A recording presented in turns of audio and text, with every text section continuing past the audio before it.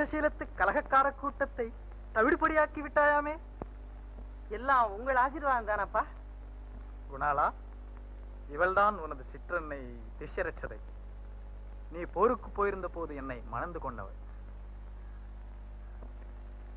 அம்மா?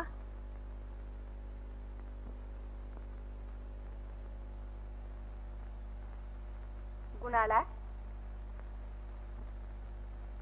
உன் தந்தை செய்த பாக்கியமே பாக்கியம்.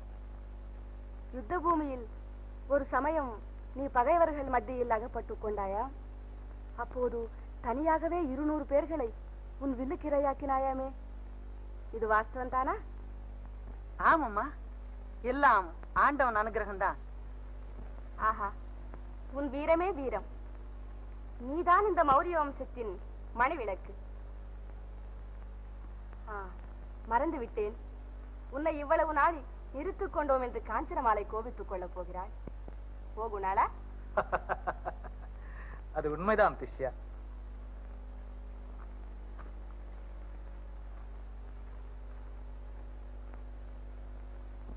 குணாளா இனிமேல் நீதான் இந்த ராஜ்யபாரத்தை சுமக்க வேண்டும். என்ன? உனக்கு விரைவில் யுவராஜ பட்டாபிஷேகம் செய்ய நிச்சயித்து விட்டேன் போய் வா.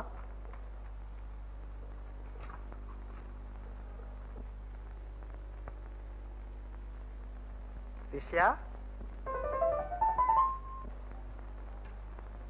குணால்.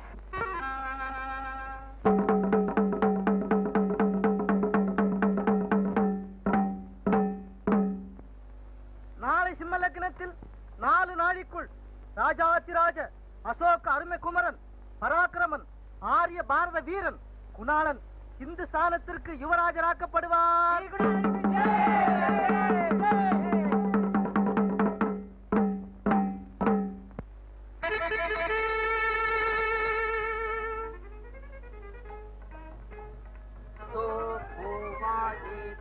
राज्यमादत्ते। यो राजा सन्राज्यो वसोमे नियजते। देवसुवामेतानि हवीगुंसि भवन्ति। ये तावन्तो वै देवानागुं भवाः स एवास्मै सवान् प्रयच्छन्ते। प्रयेनं पुनस्वन्ते राज्याय। देवतो राजा भवति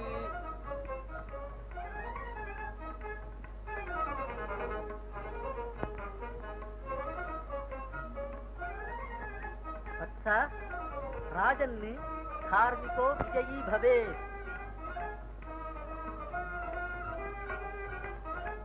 యువరాజ குணாளருக்கு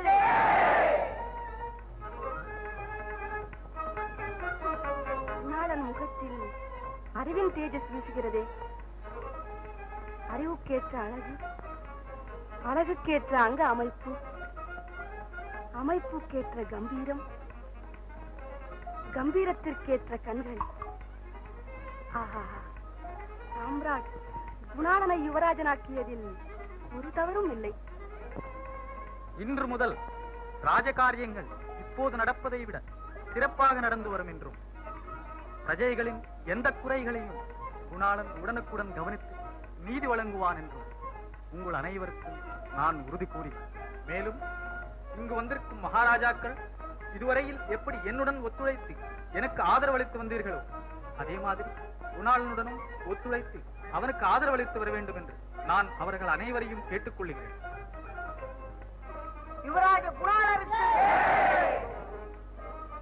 என் பிதாவின் விருப்பத்திற்கிணங்கவும் மந்திரியாரின் புத்திமதிப்படியும் நான் இன்று முதல் இந்த மகத்தான மகத சாம்ராஜ்யத்தை ஆழ்வதில் பங்கெடுத்துக் கொள்ள வேண்டியவனாகிவிட்டேன் உங்கள் எல்லோரின் பரிபூர்ண ஆசீர்வாத பலத்தாலும் பகவானின் கருணையாலும் என்னால் என்றவரை சாம்ராட் செங்கோலுக்கு யாதொரு விதமான சிறு பழுதும் ஏற்படாத வகையில் தொண்டாற்றி வருவேன் என்று உங்கள் எல்லோருக்கும் உறுதி அளிக்கின்றேன்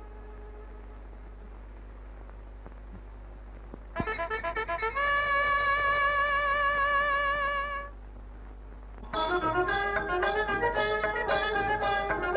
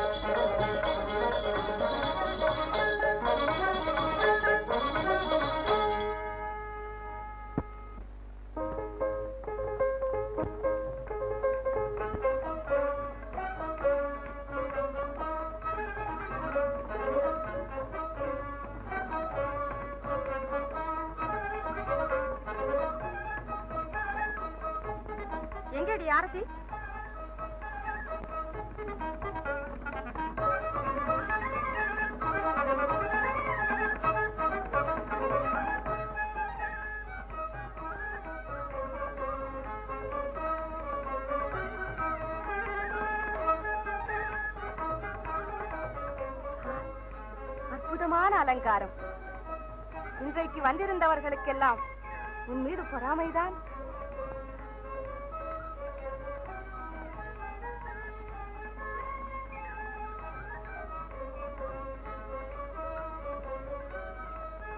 வாஸ்தவத்தில் நீ இன்று எவ்வளவு சுந்தரமாயிருக்கிறாய் தெரியுமா உனால தாயின் கண் மகா பொல்லாதது. அதற்குத்தான் நானே திருஷ்டி கழிக்கிறேன்.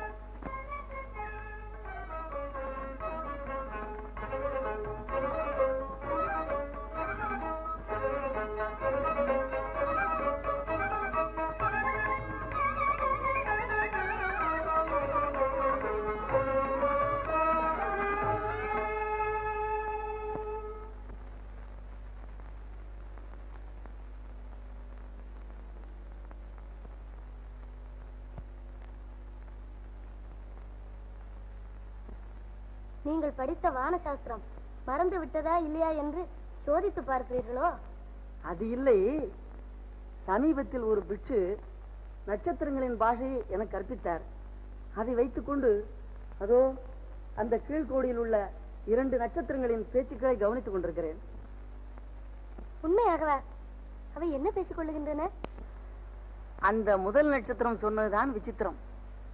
நாம் கொஞ்ச நேரம் வெளியே போய்விட்டு வரலாம் என்றால் நமது ஸ்தானங்களில் நமக்கு சமமான ஒளியுள்ள எவைகளை அமர்த்துவது என்றது. எது? முதல் நட்சத்திரம். அதற்கு இன்னொன்று நானும் இதை பற்றி கவனித்தேன்.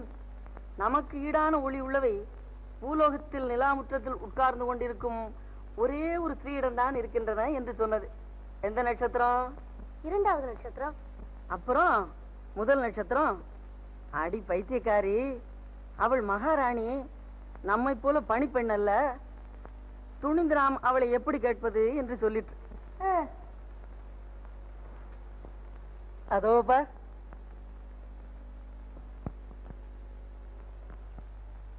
அதற்கு இரண்டாவது நட்சத்திரம் மகாராணியா இருந்தாலும் ஸ்ரீதானே இரக்கம் இருக்காதா என்ன? கேட்டால் கொடுப்பாள் என்று சொல்லிற்று. ஆ. அப்புறம் அந்த நட்சத்திரங்கள் முடிவு என்னவாயிற்று? ஆவது என்ன ஒன்றும் வழி தெரியாமல் அதோ அவை துடித்துக் கொண்டிருக்கின்றன. ஐயோ பாவம். அந்த மகாராணியா? அவள் தானே? சொல்லுகிறேன். அவள் அழகில் மகா சுந்தரி. அவள் தழுக்கும் நடை குலுக்கும் உடை மினுக்கும். ஆஹாஹா என்ன அழகு என்ன ஒயில் என்ன சிங்காரம் என்ன கம்பீரம் என்ன பார்வை? போதும் போதும். அவள் பெயரை கேட்டால் வர்ணிக்க தொடங்கி விட்டீர்களே. நான் அவளை வர்ணிக்கத்தானே இருக்கிறேன். காஞ்சனா எனக்கு அவள் மீது அதிக பிரியம் கூட உண்டு. சுவாமி தங்கள் பிரியத்துக்கு பாத்திரமான அந்த பாக்கியவதி யாரோ? அவள் பெயரை சொன்னால் கோபித்துக் கொள்ள மாட்டாயே? கோபித்துக் கொள்ளவில்லை. சொல்லுங்கள். அந்த மகாராணியின் பெயர்? சொல்லட்டுமா? காஞ்சனமாலை. ஓஹோ.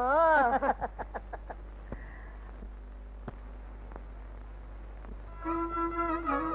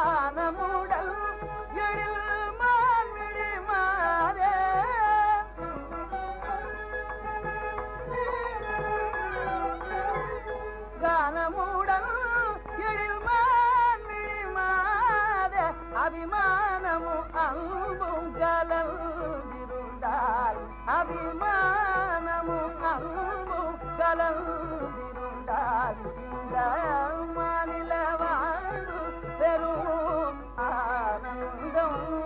வானுலகோர் அறியார் எண்களே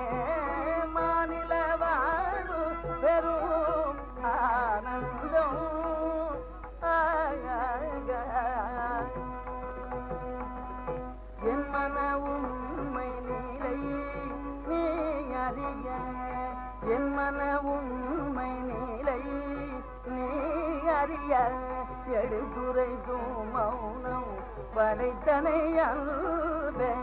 எடுத்துரைக்கும் மௌனம் படைத்தனை அன்பே.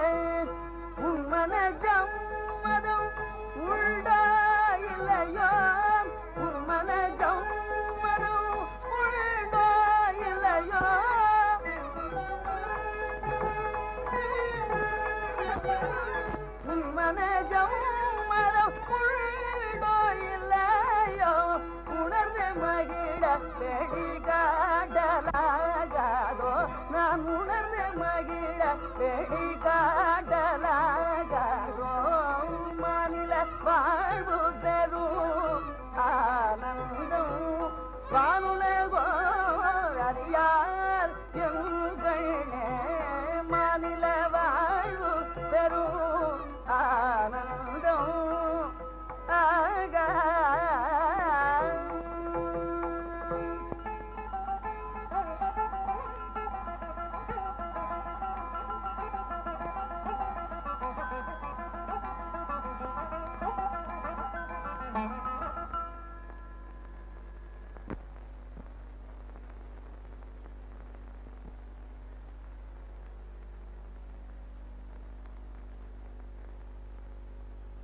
இது என்ன? அவர் எங்கே போய்விட்டார்?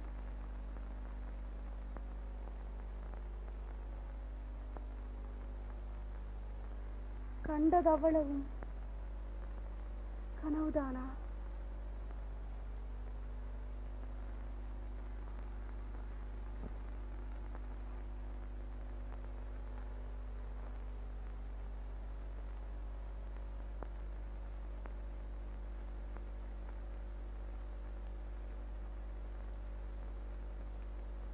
இல்லை இல்லை. குணாளன் மகாராஜன் விஸ்வரட்சிதை மகாராணி.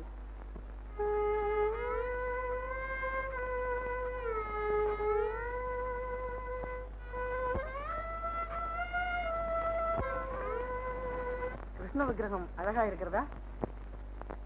அழகிறதோ இல்லையோ? அதை பற்றி நான் உங்களை கேட்டேனா.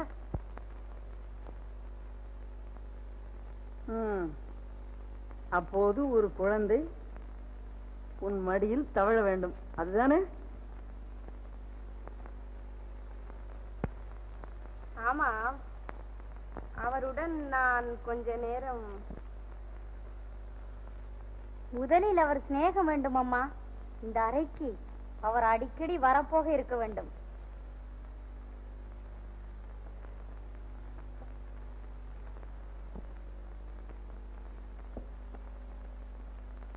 அதிலிருந்து மெதுவாக அவர் எனக்கு நிச்சயமாக கிடைப்பாராடி. ஸ்ரீதேவி வழியே வந்தால் வேண்டாம் என்று யாராவது சொல்வார்களா?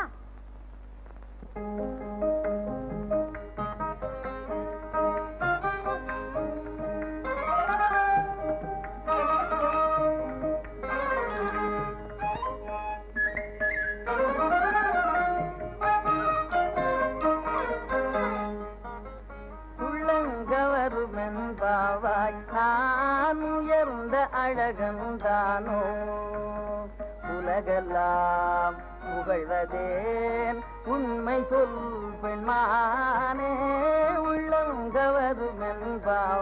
என் உள்ளங்கவருமென்பாவாய். யாரும்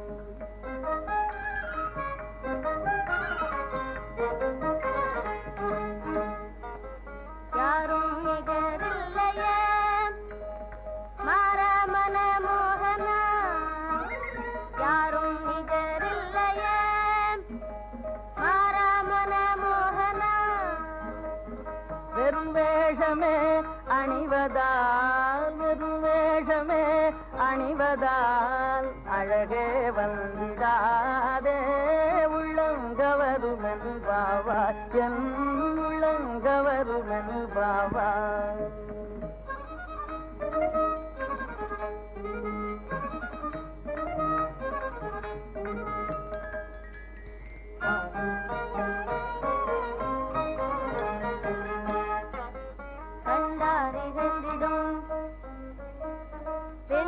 அணிந்திடும் கண்டாரி கண்டிடும் பெண்டீர் அணிந்திடும். பட்டாடையும் முத்தாரமும் பட்டாடையும் முத்தாரமும். மேன்மை தராதோ உதார குணகந்தீரா உதார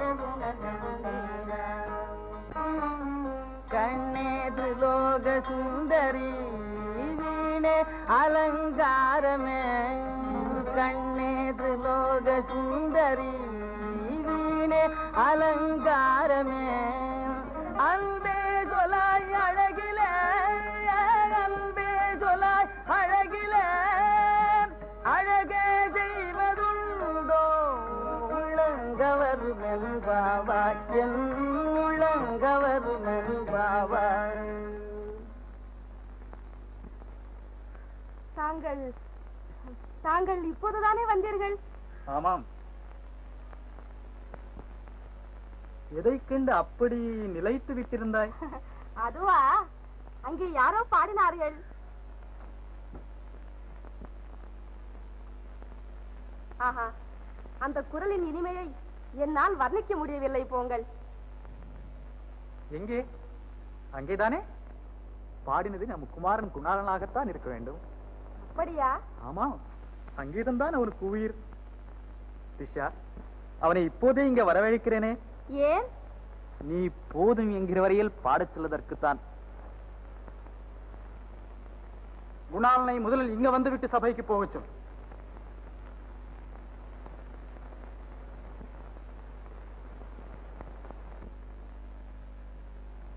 குணாலா குணாலா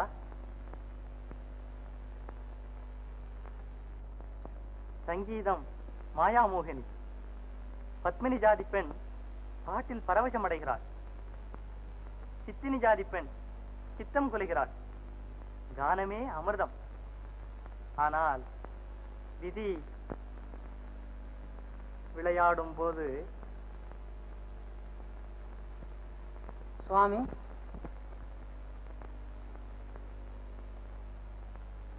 விதி உன் ரூபமாகவா?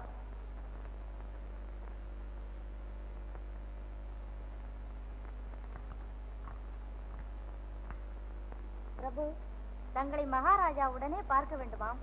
எங்கிருக்கிறார்? தங்கள் சிற்றன்னையின் அறையில் தான் மகாராஜா முன்பு சபா மண்டபத்தை ஆண்டார். இப்பொழுது சயன கிரகத்தை ஆளுகிறார். காஞ்சனா நான் போய் வரட்டுமா? போய் வாருங்கள்.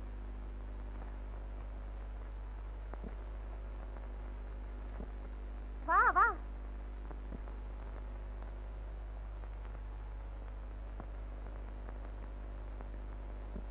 எனக்கென்னமோ இந்த அலங்காரம் பிடிக்கவில்லை. காஞ்சனா இன்னும் கொஞ்சம் கவனம் செலுத்தி இருக்கலாம். குணால் இப்படி உட்கார்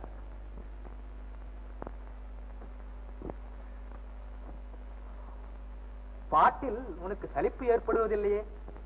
அப்பா ராத்திரிக்கு கழித்து செலப்பியது நீ பாடுவதை உன் அம்மா கேட்க வேண்டுமா?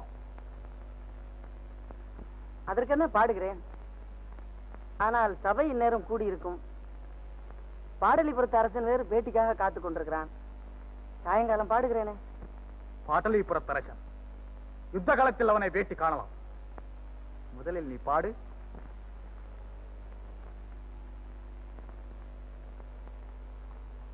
ஏன்? உன் அன்னையை சாதாரணமாக நினைத்து விடாதே. சிஷ்யரட்சதை பாட்டில் மட்டுமல்ல பரத சாஸ்திரத்திலும் மகா பாண்டித்யம் உடையவள். ஐயோ முகஸ்துதி வேண்டாமே. ஆ, நீ பாடு.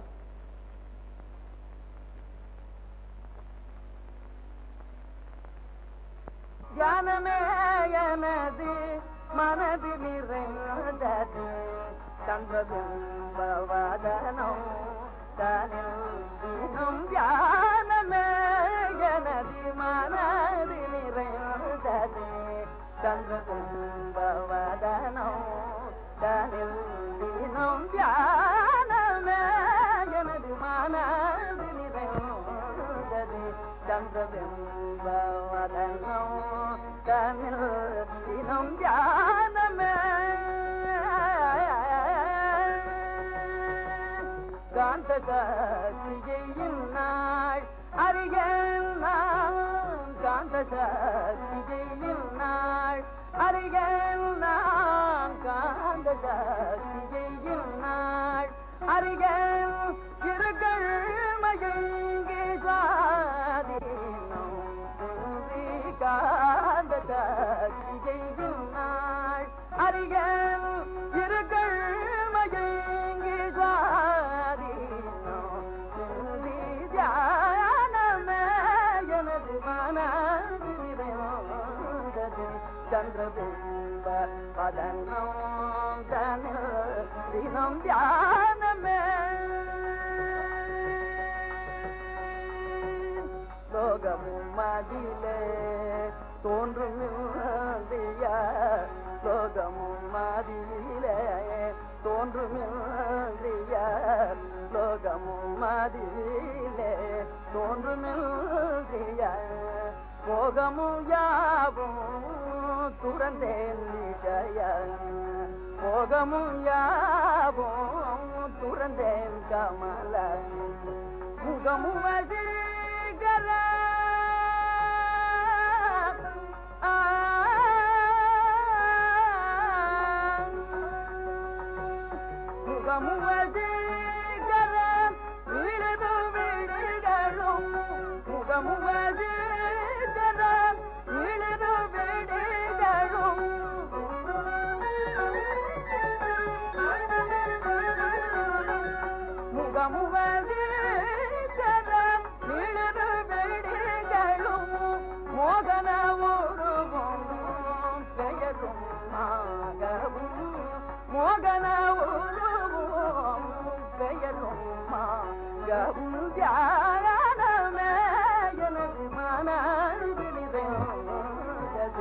சந்திரபிம்ப பதனம் தனில் தினம் தியானமே.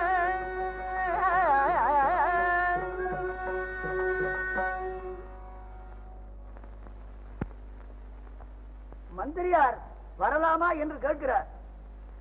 அவசரமான காரியமா?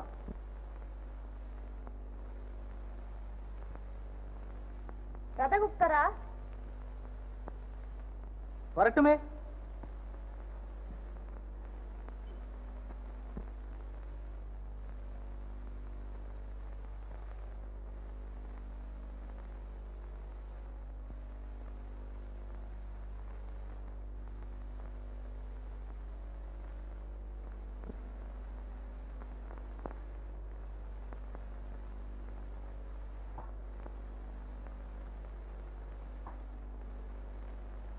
பல்லவன் விஷயம் முக்கியமானதுதான்.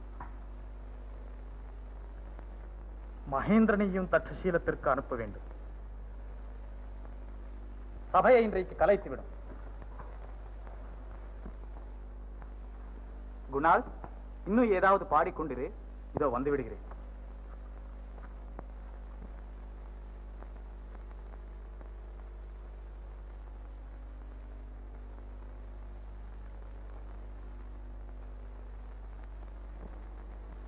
நீங்கள் நல்ல பாக்கியசாலி அம்மா இந்த சமயம் மட்டும் தைரியமாக நடந்து கொள்ளுங்கள். உங்கள் ஆசை நிச்சயமாகிவிடும். நல்ல வேலையாய் ஞாபகப்படுத்தினாய். நீ இங்கே நீ யாராவது வந்தால் அதெல்லாம் நான் பார்த்துக் கொள்கிறேன்.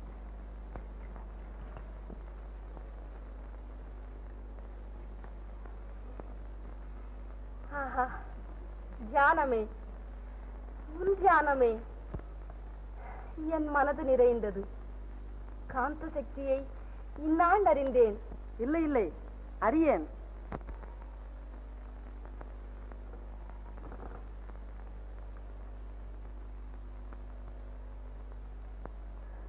வசீகர முகமும் நீளிரு விழிகளும் உன் ஜானமே என்ன இனிமை? என்ன இனிமை?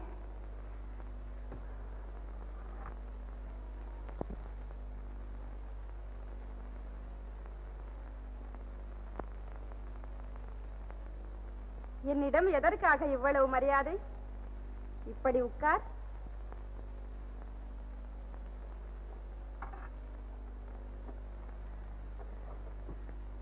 இந்த பழம் மதுரமானது. தின்ன தின்ன திகட்டாது. சாப்பிடு.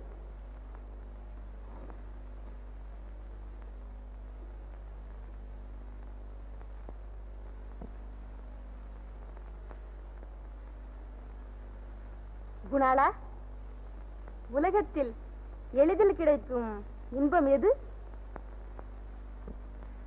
சிறிய இன்பம். ஓஹோ. தாய் தமக்கை தங்கை தாரம்.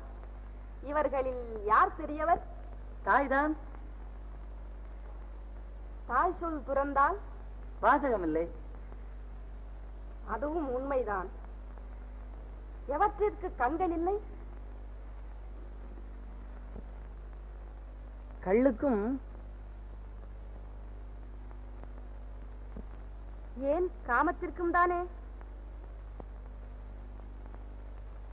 அழகான வீணையும் அற்புதமான நாதமும் சேரும்போது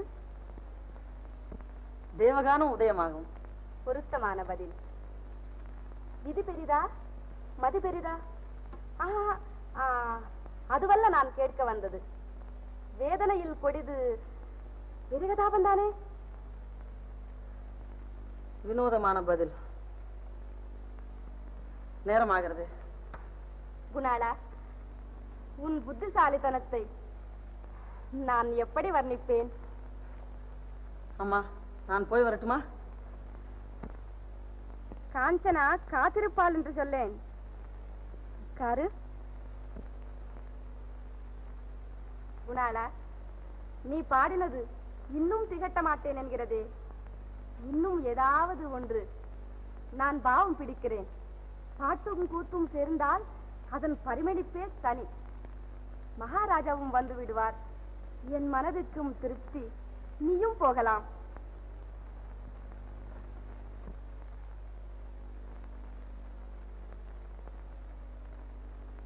ஏனம்மா இன்னொரு நாளைக்கு பாடுகிறேனே. இன்றைக்கு என்ன? நாள் கிழமை நட்சத்திரம் எல்லாம் நன்றாயிருக்கிறது. சபையும் கலைந்து விட்டது இப்போது என்ன அவசரம்? என்ன யோசனை? ஒன்றுமில்லை. நான் நன்றாக பாவம் பிடிக்க மாட்டேன் என்று நினைக்கிறாயோ? நீ பாடித்தான் பாரேன். பாடு. வெட்கமா? உன் சிற்றனை தானே நான்? இதோ பாடுகிறேன்.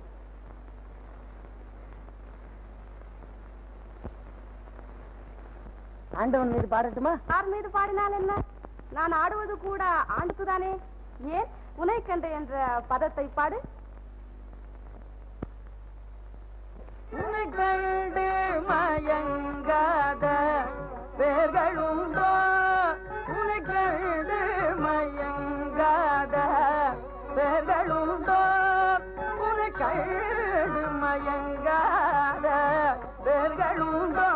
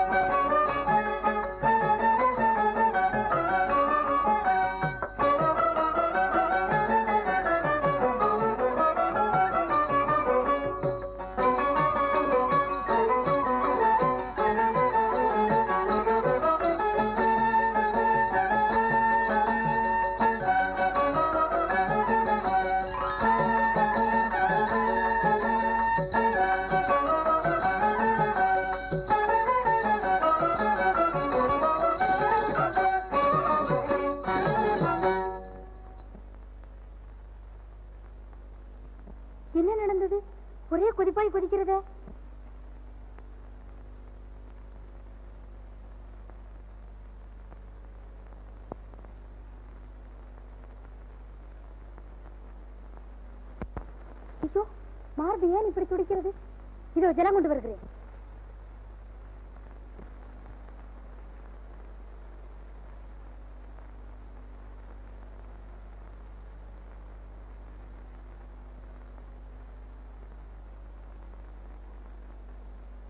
நான் எங்கிருக்கிறேன்? என்னம்மா உடம்பு இருக்கு?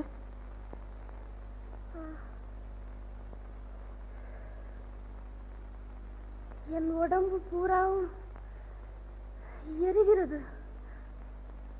ஆடினதில் சிரமமா?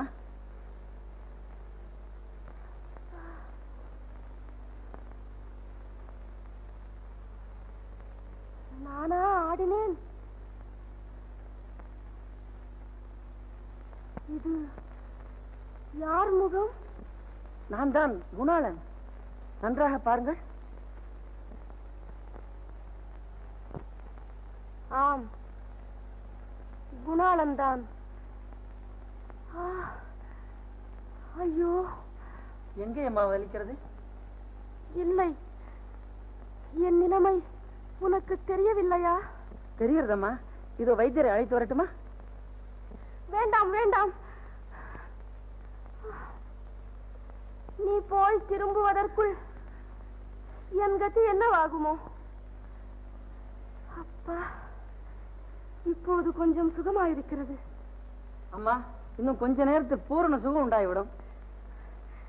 உண்மையாகவா? உன் சொல்லை நம்பலாமா?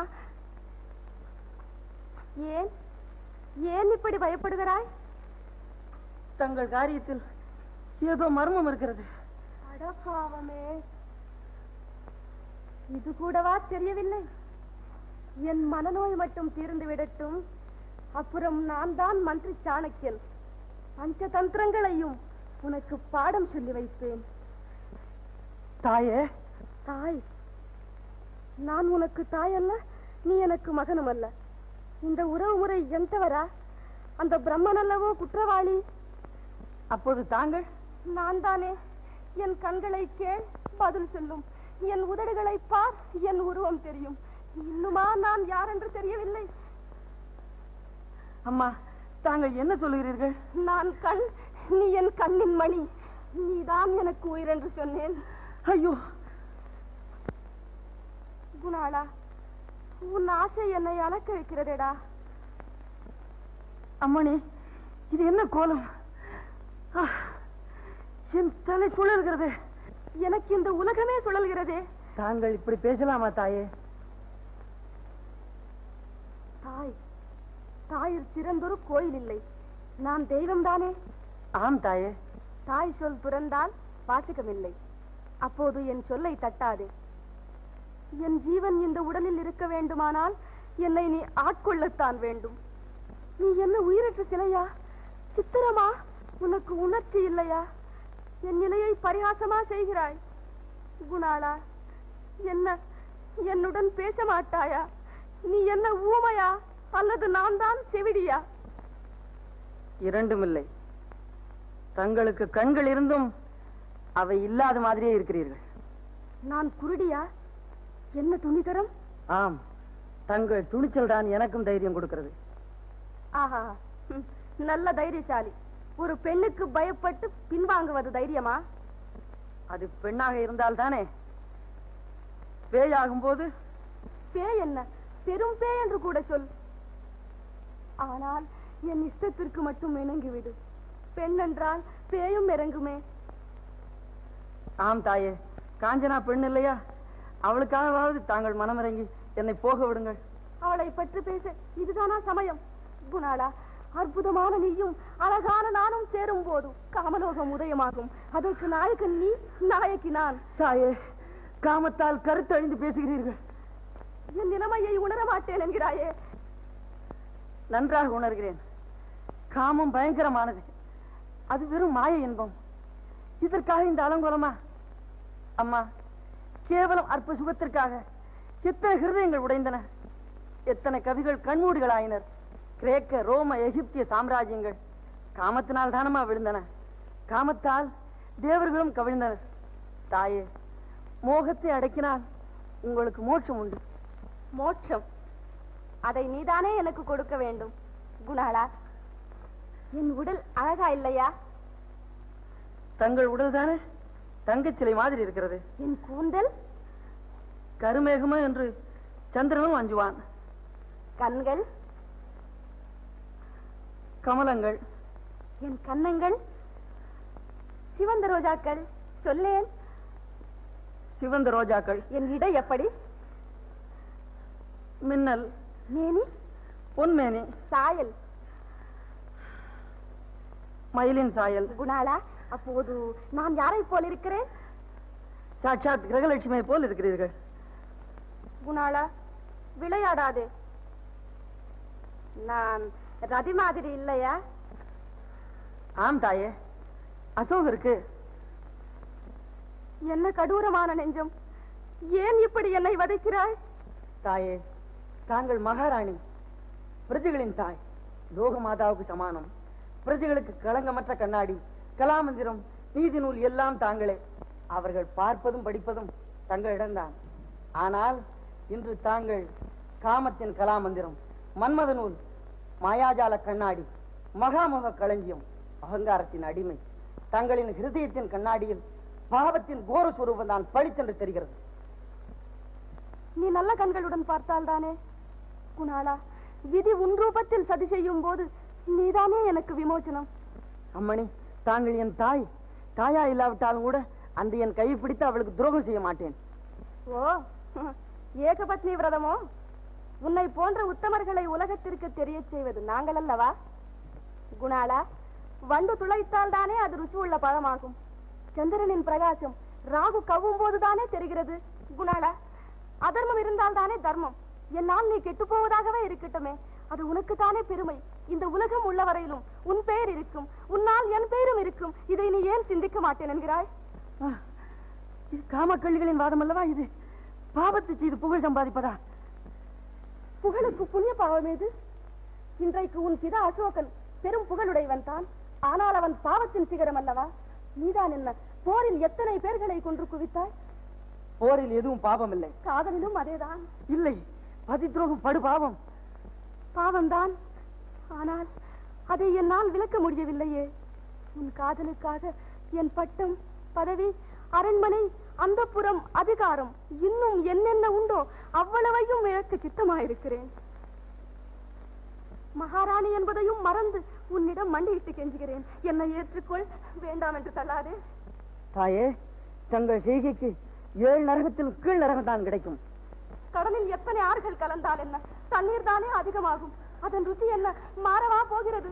காதல் கடலில் சிக்கி தவிக்கும் எனக்கு உன் தர்மோபதேசங்களால் பிரயோஜனம்? குணாளா குணாளா! மகாராஜா மகாராஜா!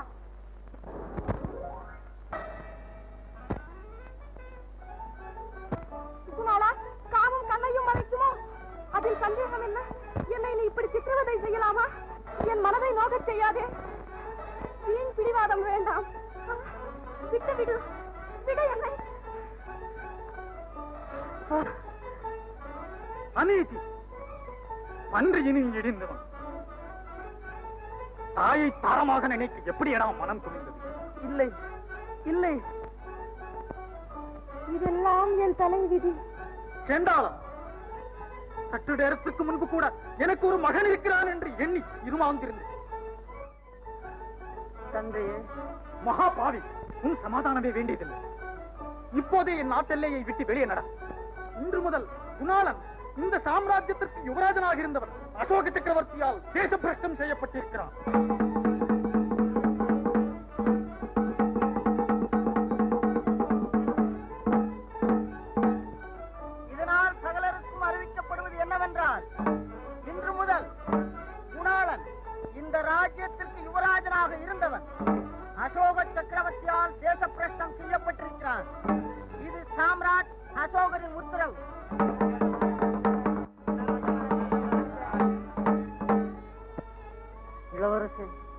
ஏன் இந்த மர்மம்? அங்கு நடந்ததை சொல்லுங்க என்னை மன்னிக்க வேண்டும்.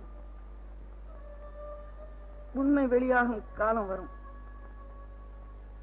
விதியின் கூத்தை விவரிப்பதில் எனக்கு இஷ்டமில்லை.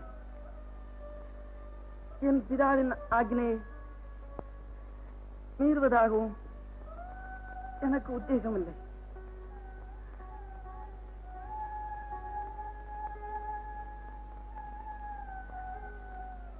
நாங்கள் நாட்டை விட்டு போகத்தான் வேண்டும். ஆச்சரியம்.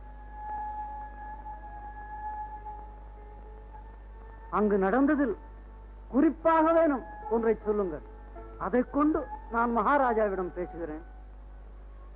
எதற்கும் இது தருணம் இல்லை என்று பொறுத்திருப்போம். நாளை காலம் மாறும். அப்படியானால் தாங்கள் எங்கு போக போகிறீர்கள்? இனி நினைத்த இடமெல்லாம் என் அரண்மனைதான். இளவரசே மகேந்திரன் தட்சசீல நிர்வாகியாக நியமிக்கப்பட்டிருப்பது தங்களுக்கு தெரியும். தாங்கள் அங்கு சென்று இவனுடன் தங்கியிருங்கள். நான் மகாராஜாவை கண்டு கலந்து பேசி தங்களை விரைவில் வரவழைக்கும்படி ஏற்பாடு செய்கிறேன். நானும் அதைத்தான் சொல்லியிருந்தேன் அங்கு இளவரசர் வேறு நான் வேறு அல்ல.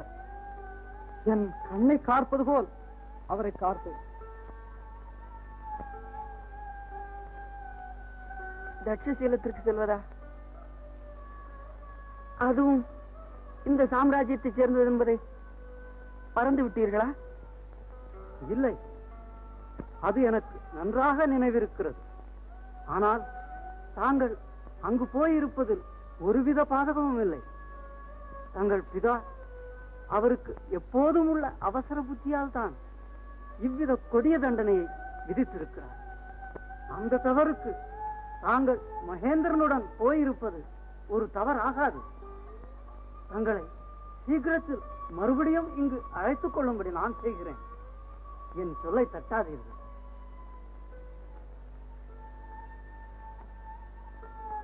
சுவாமி. என்னை கைவிட மாட்டீர்களே. நானும் கூடத்தான் வருவேன். காஞ்சனா வருவது வந்தே தீரும். காஞ்சனா அழாதே. சில சமயங்களில் அபராதிகள் தப்பித்துக் கொள்கிறார்கள். நிரபராதிகள் அகப்பட்டுக் கொள்கிறார்கள். இது உனக்கு தெரியாத புதுமை அல்லவே? சுகமும் துக்கமும் வாழ்க்கையில் விளக்க முடியாதவை அல்லவா? காஞ்சனா அழாதே. உனக்கு ஒரு கெடுதியும் நேராது. நீங்க நேற்று தானே யுவராஜ ராணியர்கள்.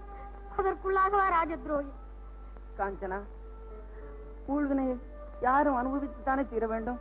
இல்ல இல்லை. உங்களுடைய நானும் தான் அதை அனுபவிக்க வேண்டும். காஞ்சனா எனக்கே மகேந்திரன் தேவில் காலம் கழிக்க கதி வந்திருக்கிறது. அப்படி இருக்க நீயும் என்னை உன் பிடிவாதத்தால் இப்படி துன்புறுத்துவதா? சத்திரிய குலத்தில் பிறந்த நீ வானமே இடிந்து விழுந்தாலும் மனம் கலங்கலாமா? தர்மம் இன்னும் உலகத்தில் அழிந்து விடவில்லை. அது நம்மை மீண்டும் ஒன்றுபடுத்திவிடும். காஞ்சனா எவர் மனதும் கோணாமல் இருக்க நடந்து கொள். மந்திரியார் நமது இருவர் சுகத்தையும் அடிக்கடி சொல்லி வருவார்.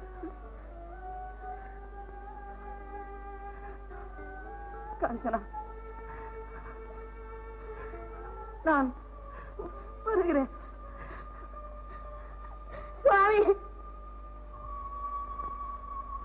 என்னங்க வைத்தியரே? நீர் சாகலையே? நீர் சாகல. முன்ன முகம் மட்டும் வீங்கி இருந்தது. மருந்து போட்டப்புறம் உடம்பு கை கால் எல்லாம் வீங்கிட்டது. என்னங்க செய்யறது? அது குழந்தை வளருது போல இருக்கு. அத பார்த்துட்டு நீ வீங்குது வீங்குதுன்னு வந்து சொல்ற. வீக்கமா இருந்தா அந்த மருந்துலயே கேட்டிருக்குமே. சரி. இத கொண்டு போய் போடு.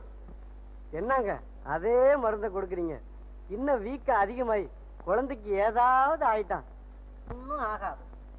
இவரு சொன்னா சொன்னது தானே இவரு இவரு. ஆமா உனக்கு எத்தனை குழந்தை? ரெண்டுங்க. ரெண்டு இருக்கா? அப்புறம் என்னவா? சும்மா இந்த மருந்தையே கொண்டு போடு.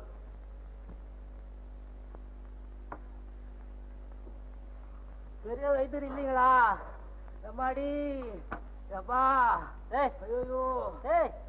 சும்மாரப்பா ஏன் பெரிய வைத்தியரை தேடுற? வயிற்று வலிங்க. என்ன பார்த்தா வைத்தியர் மாதிரி தெரியலையா? வயத்த வலியா? வயத்த வலியா?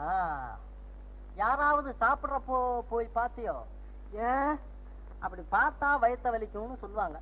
இல்லைங்களே அப்பா இது உஷ்ணத்தினால வந்ததுங்கல்ல ஏன் வெயில்ல திரிஞ்சியோ? இல்லீங்களே நெருப்புல குளிச்சியோ? என்னங்க?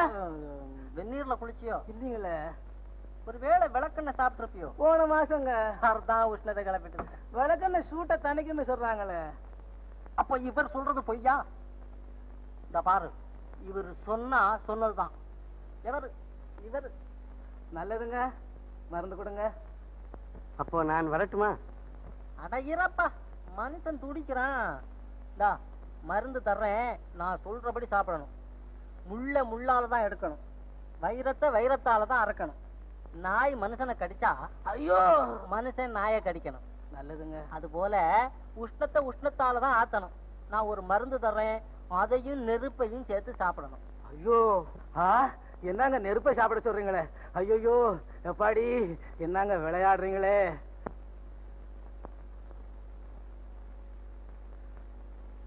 என்னங்க சும்மாவே இருக்கீங்களே? அதுதானே யோசிச்சுக்கிட்டு இருக்கேன்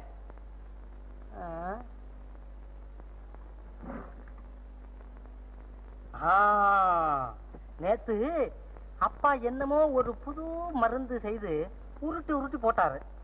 அது குடுக்கறேன் சாப்பிட்டு பாரு.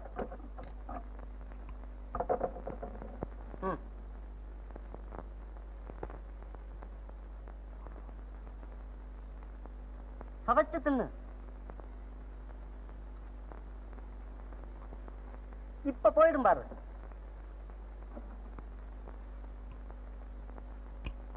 ரொம்ப ருசியா இருக்குங்களே என்ன ஒண்ணு கொடுங்களேன். இதா இந்தா. அட மருந்தா ருசியா இருக்கு. எங்க? ஒண்ணு கொடுங்க பாப்போம். தின்னு. ஆமா ருசியா தான் இருக்கு. இன்னொன்னு தாங்க. ருசியாவா இருக்கு. இரு நானும் தின்னு பாக்குறேன்.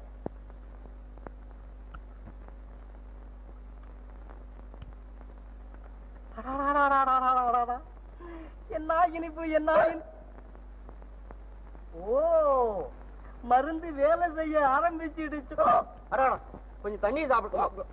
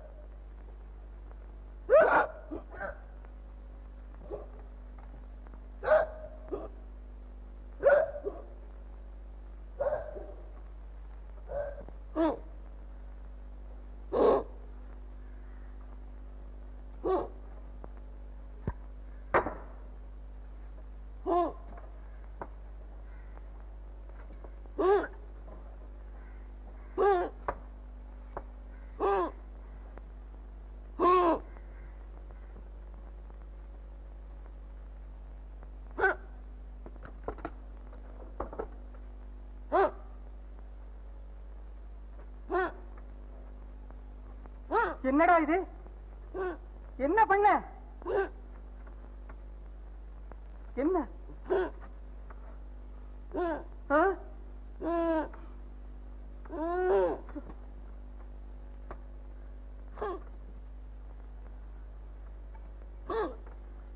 ஏன்டா அப்படி விக்குது பேச முடியலையா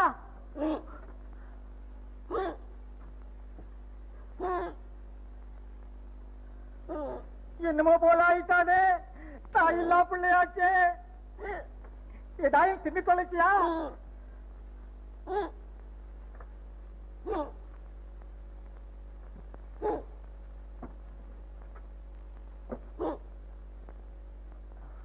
பாவி மகனே இந்த எலி பாஷாணத்தை தின்னியா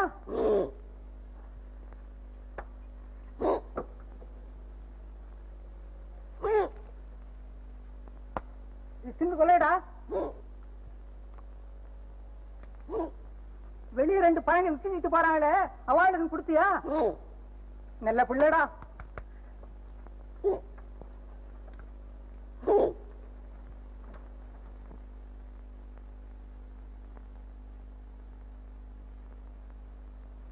குணாளன் மகாபாபி. சக்கரவர்த்தி உலகத்தில் யார் பாவி இல்லை? ஆத்திரம் அறிவுக்கு சத்துரு. அதை நீ மறந்து விட்டாய்.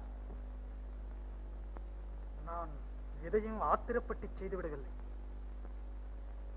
குணாளன் செண்டாளன் தான். இல்லை அவன் குற்றமற்றவன்.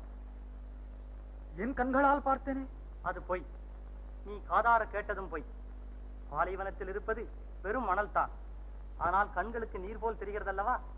அது மாதிரியே எது மெய் எது பொய் என்பது தெரியாமல் நீ தவித்துக் கொண்டிருக்கிறாய். நீர் யாருடன் பேசுகிறீர் என்பதை மறந்தீரா?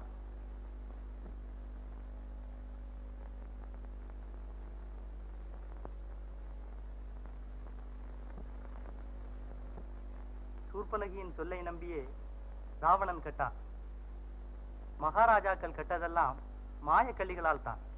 யார் இவன் பிச்சைக்கார பிக்ஷு. தன் நிலையறியாது உளறுகிறான் இவனை எண்ணெய் கொப்பரையில் போட்டு பொறுத்திடுங்க.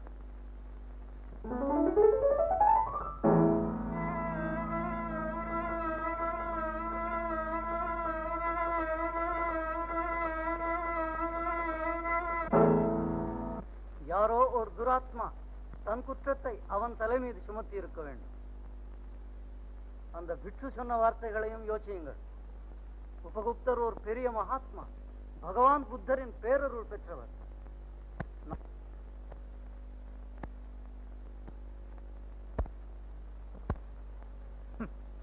உபகுப்தர் பெரிய மகாத்மா. பகவான் புத்தரின் பேரருள் பெற்றவர். ரதகுப்தர் மூளை கலங்கி பேசியிருக்கிறார். மகாராஜா மகாராஜா சன்னியாசி சாகவில்லை. அவரை எண்ணெய் கொப்பரையில் போட்டோம். அவர் இதில் தாமரையாகி மறைந்து விட்டார். தாமரையாகி மறைந்து விட்டாரா? என்ன ஆச்சரியம். உண்மையில் அவர் மகாத்மாவாகத்தான் இருக்க வேண்டும். அப்படியானால் என் மகன் நிரபராதியா? பழி ஓரிடம் பாபம் ஓரிடமா? குணாலன் ஒரு பாபத்தையும் அறிய மாட்டானா? உண்மை அதுதானா?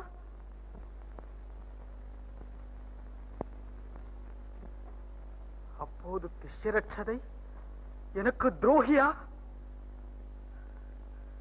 சக்கரவர்த்தி அசோகன் மகிஷி செண்டாளியா அவள் மானம் கிட்ட வேசியா?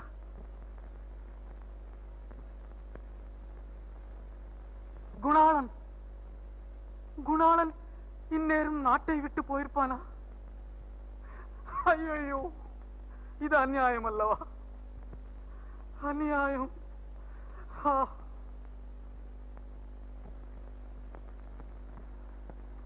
இல்லை இல்லை. திஷ்யரட்சதை என் இன்பக்கேடி. அப்படி செய்திருக்க மாட்டாள் செய்திருக்கவே மாட்டாள் இல்லை. இல்லை. உபகுப்தர் பொய் சொல்ல மாட்டார். குணாளா. ஆ.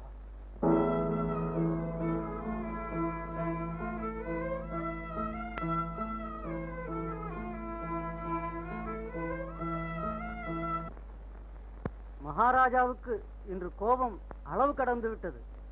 திடீரென்று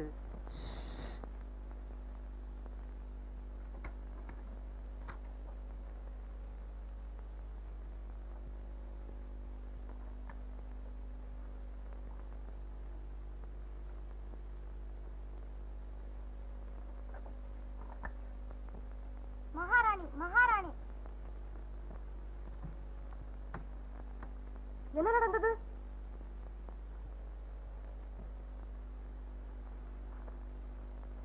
என் சுவாமி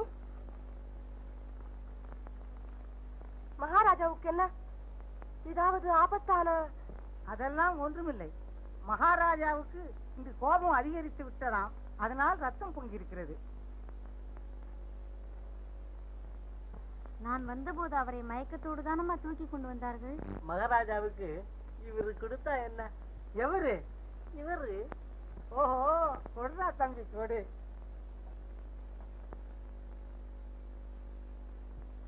நம்ம பையன் பெரிய கைராசிக்காரனுங்க. இரும்பு தொட்டா கூட பொண்ணாயிடுங்க.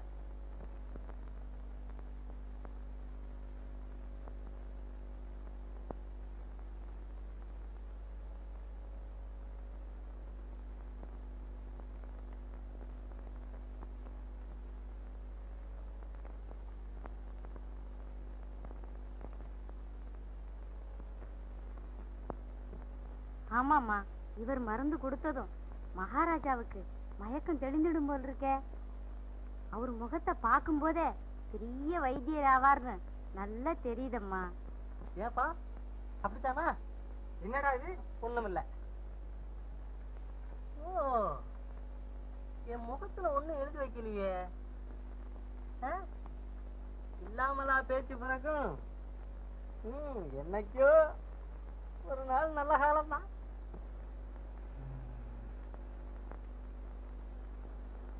என்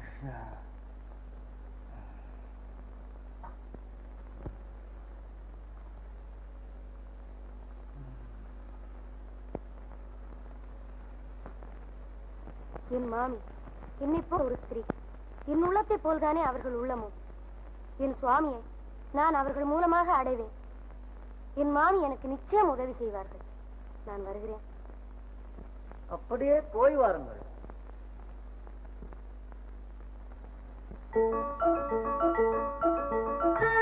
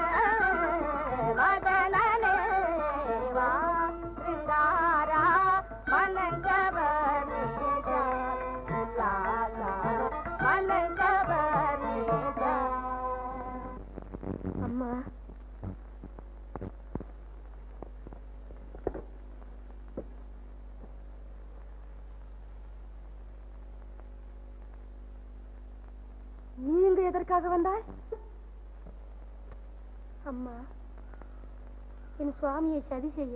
எத்தனை நாட்கள் காத்து கொண்டிருந்தீர்கள். குணாளரின் நாயகர் அசோகரின் கண் பிரஜைகளின் பிதா எதிரிகளுக்கு யமன். இருந்தும் என்ன? இன்று தங்கள் சூழ்ச்சியில் சிக்கி தவிக்கிறார். காஞ்சனா மகுடம் தரித்த மறுதினமா அவருக்கு தேச பிரஷ்டம் தாயே புதல்வனை புருஷனாக நினைப்பது அதர்மம் அல்லவா? கிட்டாப்பழம் என்றால் அதை வெட்டன மறக்க வேண்டாமா?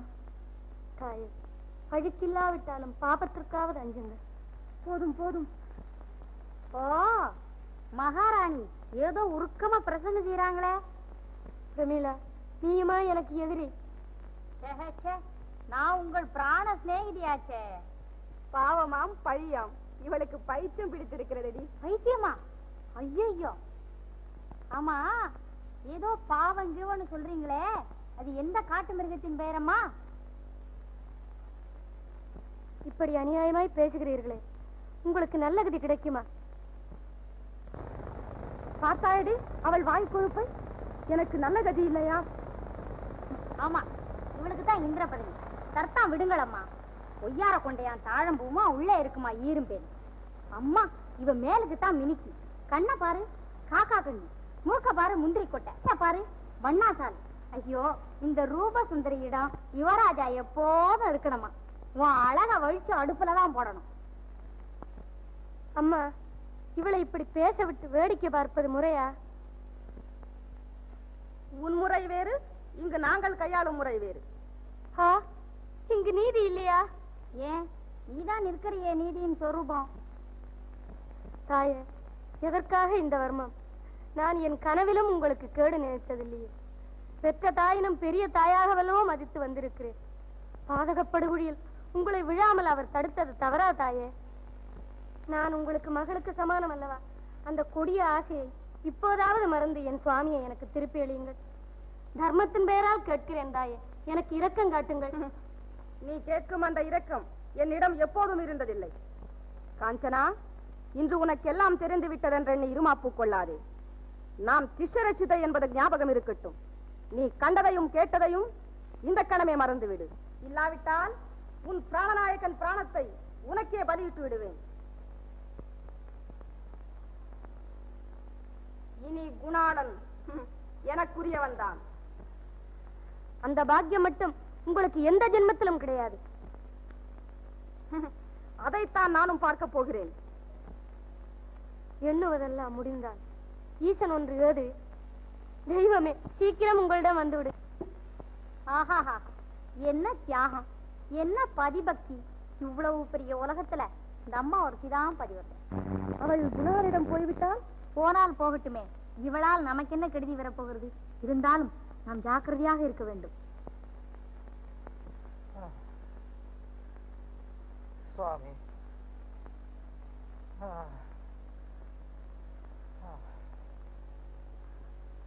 என் பாவங்களுக்கு. ஏதாவது பரிகாரம் உண்டா சுவாமி? அசோகனே முதலில் உயிர்கொலை செய்வதை நிறுத்திவிடு. தினம் ஆயிரக்கணக்கான மான்களையும் காட்டுப் பன்றிகளையும் கொண்டு பாவ மூட்டையை கட்டிக்கொள்ளாது. ஊனை தின்று ஊனை வளர்ப்பது சொல்ல முடியாத பாவம். எவன் ஒருவன் இறைச்சி தின்னவில்லையோ அவனை எல்லா உயிர்களும் போற்றுகின்றன. ஜீவஹிம்சை செய்வதன் மூலம் மனிதன் பாவத்தை வளர்ப்பவனாகிறான்.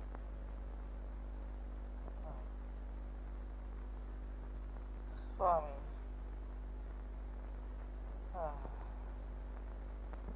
அசோகனே நோவை சகித்துக் கொண்டால்தான் வினை தீரும். எந்த உயிரையும் இம்சிக்காது. வெளியழகை கண்டு மயங்காது. கள்ளும் பாலும் வெளுப்பாகத்தான் இருக்கின்றன. ஆனால் இரண்டுக்கும் குணங்கள் வேறுதானே.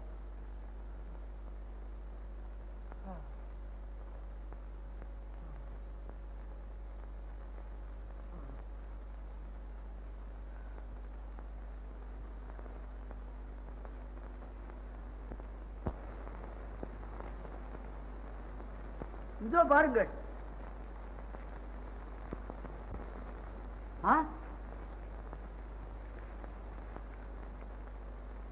காஞ்சனாவின் ஆபரணங்கள். இவை உமக்கு எப்படி கிடைத்தன? தோட்டத்தின் வழியாக வந்து கொண்டிருக்கையில் இவை சிதறி கிடந்தன. இது ஏதோ சூதா இருக்கிறது. காஞ்சனா எங்கே? அரண்மனை பூராவும் தேடினேன். காணோம். என்ன? காணோமா? ஆமா மகாராணியும் அவள் போனதை பற்றி கொஞ்சமும் கவலைப்படுவதாகவே தெரியவில்லை. ஒரே மௌனம் சாதிக்கிறாள். தெரிகிறது. அவள் குணாளனிடம் தான் போயிருக்க வேண்டும். சரி நாமும் இப்போதே புறப்படுவோம். ம், ம். இனி நமக்கு இங்கு ஒரு காரியமும் இல்லை. சித்தரத்தையோடு அத்தினத்தையும் துத்தி வேரோடு துளசை துளசி வேரையும்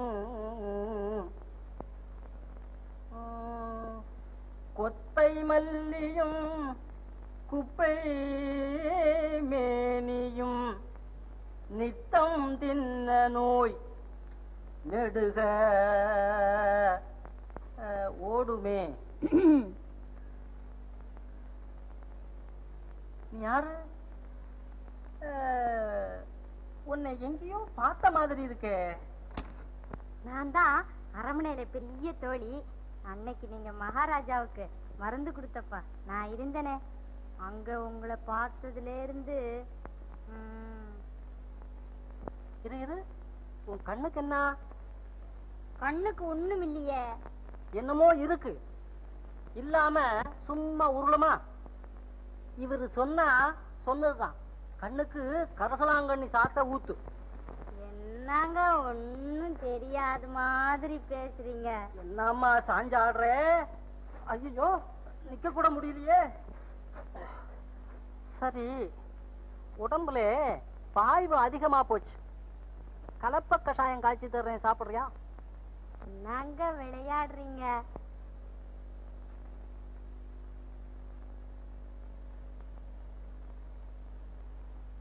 சரி பித்தமும் சேர்ந்துக்குச்சு. கொஞ்சி பேர் பஷ்பம் தர்றேன். அதை இஞ்சியோட சேர்த்து நாக்கில் தடவு. எனக்கு பித்தமும் இல்ல வாயுவும் இல்ல. அப்போ இருக்கிறது என்ன? அதையாவது சொல்லு. சொல்லட்டுமா? ஆசை. அப்படின்னா? அதுதான் காதல். காதல். கா கா-. காதல். இப்படி ஒரு வியாதியை பத்தி நான் கேள்விப்பட்டதே இல்லையே. இரு பார்த்து சொல்றேன்.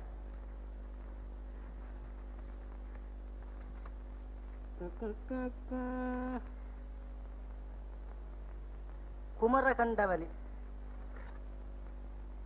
குன்மம். இருமல். சி. அதிசாரம் மதுமேகம் மயக்கம் காமம் பிரகதாபம் இது விறகு பத்தி எரிகிற மாதிரி காமம் காதல் இதை கோணங்கி முனிவர் சுவடியில் காண்க.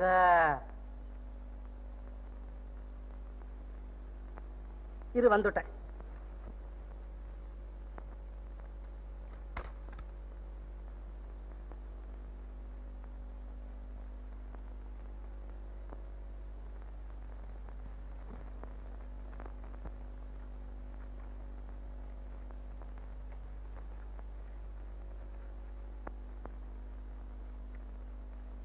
ஆ, காதல் நோய் காட்டெருமையிலிருந்து கருப்பாம்பூச்சி வரையில் காணப்படும்.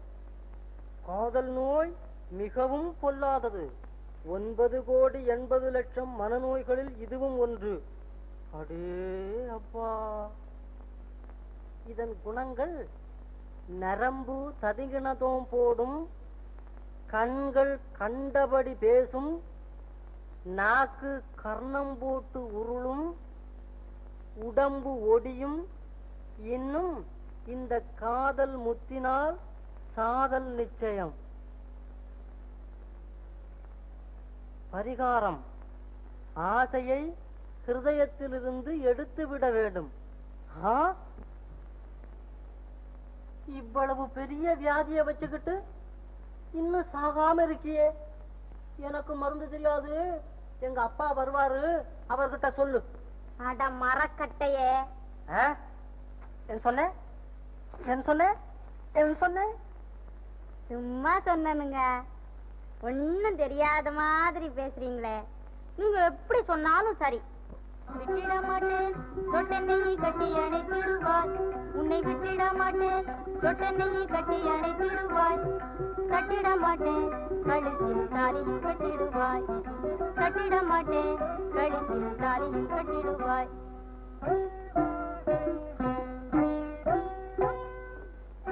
இஷ்டப்படுமில் மனநிலை கஷ்டம் தெரியலையோ? இஷ்டப்படுமில் மனநிலை கஷ்டம் தெரியலையோ? இன்பமயன் பேசாமல் இருப்பது சரியோ? இன்பமயன் பேசாமல் இருப்பது சரியோ? Thank you. ஐயையோ ஏதே ஏது அதிக நோய் வந்துடுச்சு. அப்பா வரட்டும் கை பார்த்து ஔஷதம் வாங்கி தாரேன். ஔஷதத்தாலே ஆகாது ஆசை என்னும் பிணியே. ஔஷதத்தாலே ஆகாது ஆசை என்னும் பிணியே. ஆகையினாலே சொன்னேனே ஆவிக்கினி துணையே. ஆகையினாலே சொன்னேனே ஆவிக்கினி துணையே.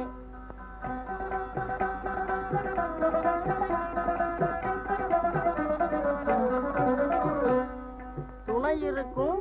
சிப்பாய் போல தோணுதோ என்னை பார்த்தா? சொல்லைப்படுத்தாமல் சொல்லை தடுக்காமல் தொலைஞ்சு போயிடாத்தா விட்டிட மாட்டேன். தொட்டென்னை கட்டி அணைத்திடுவாய். கட்டிட மாட்டேன். கழுத்தில் தாலியும் கட்டிடுவாய். சரி ஜன்னிதான் முத்தி போச்சு. என் கண்ணு இல்ல ஏன் இவ்வளவு பிடிவாதம்? நீங்க என்ன சொன்னாலும் சரி உங்களை விடவே மாட்டேன். அப்படின்னு ராஜகுமாரி வந்து மந்திரி குமாரங்கிட்ட சொன்னா. ஆட அப்போ இவ்வளவு நேரம் கதையா சொன்ன? வாங்க வாங்க வைத்தியரே. மகாராஜாவுக்கு உடம்பு ஒன்றும் இல்லையே மகாராஜாவுக்கு ஒண்ணும் இல்ல மகாராணிக்கு தான் கொஞ்சம் தலைவலி. தலைவலி தானே மருந்து கொடுக்கிறேன். இதை கொண்டு போய் தடவுங்க சரியாகி போகும்.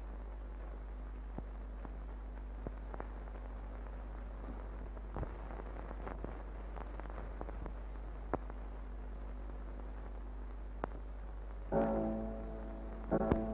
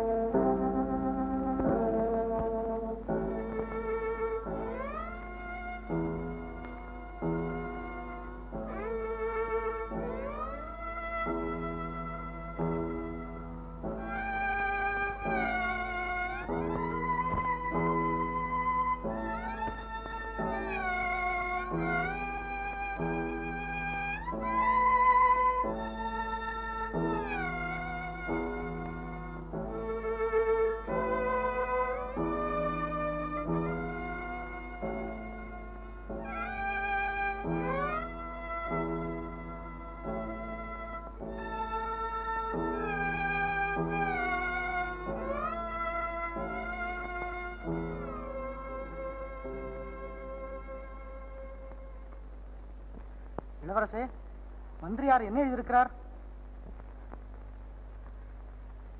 எவ்வளவோ ஆறுதல் சொல்லியும் காஞ்சனா துக்கப்பட்டு கொண்டேதான் இருக்கிறாளாம். தவிரவும் இப்போது காஞ்சனா மூன்று மாத கர்ப்பிணியா அட கடவுளே கர்ப்பிணிக்கு கவலையே உதவாதே. இந்த பெண்களே எப்பொழுதும் இப்படித்தான். மகாராஜாவுக்கு தேக அசௌக்கியமா கஞ்சில் எழுதியிருக்கிறான்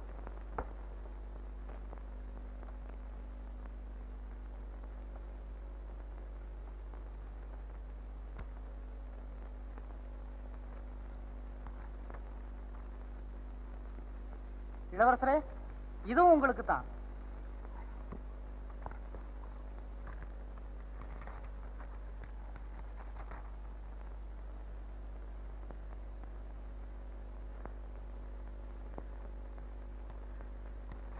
காஞ்சனா மகேந்திரா. என்ன இது? எங்கள் தேவியாருக்கு கடும் ஜுரமாவே தாங்கள் வந்து போனால்தான் காஞ்சனாவின் உயிர் நிற்கும். ரதகுப்தர். நீங்கள் போக வேண்டியது முக்கியம்தான். ஆனாலும் எது வந்தாலும் வரட்டும். காஞ்சனாவுக்கு மிஞ்சியது ஐந்த பிராணம். அப்போது புறப்படுங்கள். தபயோகம் பலித்து நாளே தபயோகம் பலித்து நாளே கபயோகம் பலிக்கும் இந்த நாளே கபயோகம் பலிக்கும் இந்த நாளே சபலமாகுமே எம் ஜென்மம்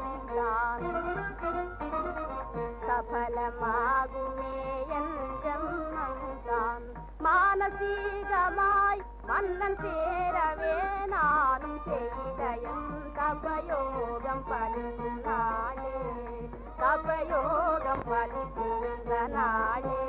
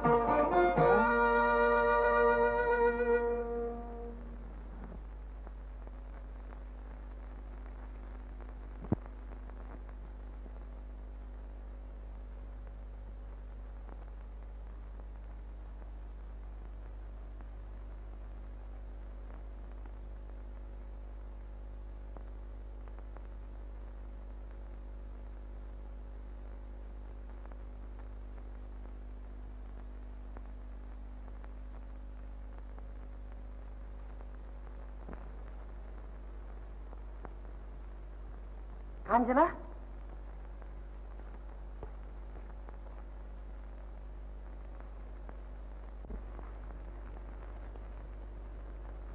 என்ன இங்கு ஒருவரையும் காணோம்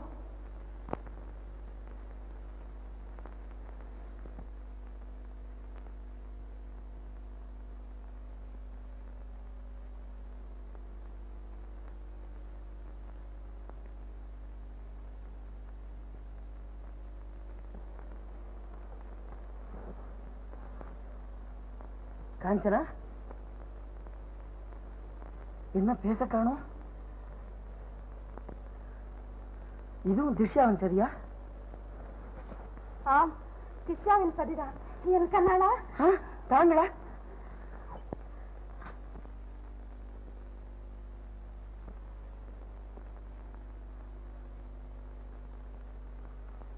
குணாளா நீ வரப்போகிறாய் என்று எப்படி அலங்கரித்துக் கொண்டிருக்கிறேன்? பார்த்தாயா? ஏன் அப்படி ஒதுங்கி நிற்கிறாய் போதும். காஞ்சனா எங்கே? அவள் உயிருக்கு ஒன்றும் ஆபத்தில்லையே. நான் ஒன்று சொன்னால் நீ ஒன்று சொல்கிறாயே. அன்று மட்டும் நீ என் சொல்படி நடந்திருந்தால் உனக்கு ஏன் இந்த அவஸ்தைகள்? அசோக சாம்ராஜ்யத்தை ஆள பிறந்த நீ உன் அறிவீனத்தால் இன்று எங்கோ அஞ்ஞாதவாசம் புரிகிறாயே. குணாளா இப்போதும் காரியம் மிஞ்சிவிடவில்லை. நீ மட்டும் மூ என்று சொல்லிவிடு. அதுவே போதும். இந்த கணத்திலிருந்து நீ சாம்ராட் நான் உன் அடிமை. காஞ்சனா எங்க இருக்கிறாள் அதை முதலில் சொல்லுங்கள் தாயே. காஞ்சனா அவளுக்கு என்ன ஒரு குறையும் இல்லை. நிஜமாகவா? ஆம். குணாளா உன்னை மகத சாம்ராஜ்யத்துக்கு மாத்திரமல்ல. இந்த மண்டலத்திற்கே ஏக சக்கராதிபதி ஆக்கி வைக்கிறேன் ஆவதும் பெண்ணால் அழிவதும் பெண்ணால் இதை மறந்து விடாதே. நான் சத்திரியன் தர்மம் தவற மாட்டேன் சத்திரியனுக்கு எத்தனை காதலிகள் வேண்டுமானாலும் இருக்கலாம். இதுதான் சத்திரிய தர்மம். அந்த தர்ம சாஸ்திரம் நான் படித்ததில்லை. என்ன வைர நெஞ்சம்? என் நிலைமையைக் கண்டு கொஞ்சமும் இழக்க மாட்டேன் என்கிறாயே. குணாளா உன் சாரீரம் இனிமையாயிருப்பது போல் உன் ஹிருதயமும் இனிமையாயிருக்கும் என்று நம்பித்தான் உன்னை காதலித்தேன். இந்த காதல் என்னை தகிக்கிறது தவித்துக் கொண்டிருக்கிறேன். என் பாவம் பொல்லாதது. தெய்வம் பொறுக்காது. வேண்டாம். மூர்க்கத்தனமாய் போகாதே குணாளா. என்னை ஏற்றுக்கொள். அதை விட நரகத்தை ஏற்றுக்கொள்வேன். அப்போது ஸ்ரீஹத்தி செய்தவனாவாய். பதி துரோகிகள் முடிவு அதுதான். அதுவும் அவன் செயல்.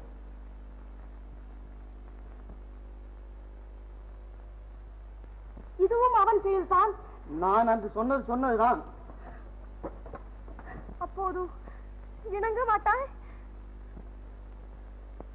ஆம் அது மட்டுமல்ல. என் மகிழ்ச்சி காஞ்சனாவின் கர்ப்பத்தில் இருக்கும் சிசுவின் மேல் ஆணையிட்டு சொல்லுகிறேன். இந்த உயிர் இருக்கும் வரை இனி என் கண்களால் கூட தங்கள் முகத்தை ஏறிட்டும் பார்க்க மாட்டேன். இது சத்தியம்.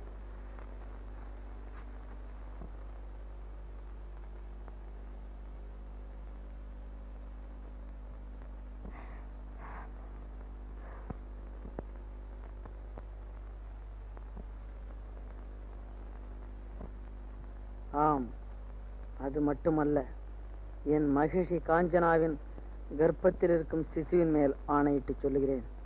இந்த உயிர் இருக்கும் வரையில் இனி என் கண்களாலும் தங்கள் முகத்தை ஏறிட்டும் பார்க்க மாட்டேன். இது சத்தியம்.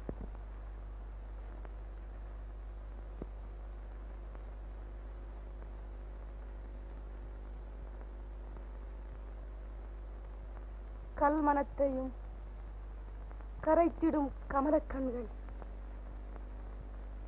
வஜ்ரம். அமிர்தம். ஆனால் தொட்டால் சுடர்.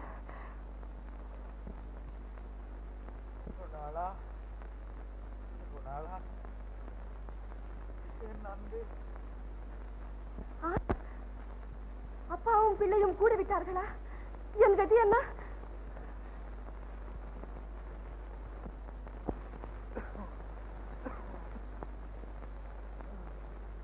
நீ எங்கேடா ஒளிந்து கொண்டிருக்கிறாய்? எந்த காட்டில் அலைந்து கொண்டிருக்கிறாய்? குணாளா குணாளா வரமாட்டாயா? இனிமேல் உன்னை ஒன்றும் செய்ய மாட்டேன்.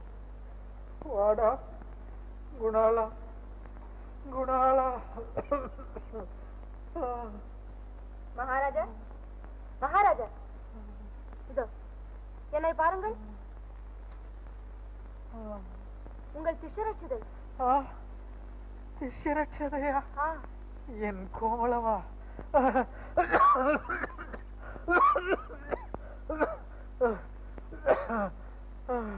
மகாராஜா இதுவரையில் இவ்வளவு பலமாக இருமினதில்லையே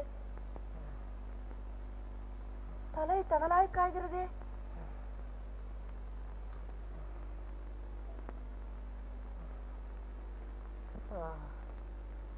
சிஷ்யா என் நோய் குறையாதா இல்லை இல்லை குறைந்து விடும் இன்றுதான் ஜுவரம் அதிகமாகி இருக்கிறது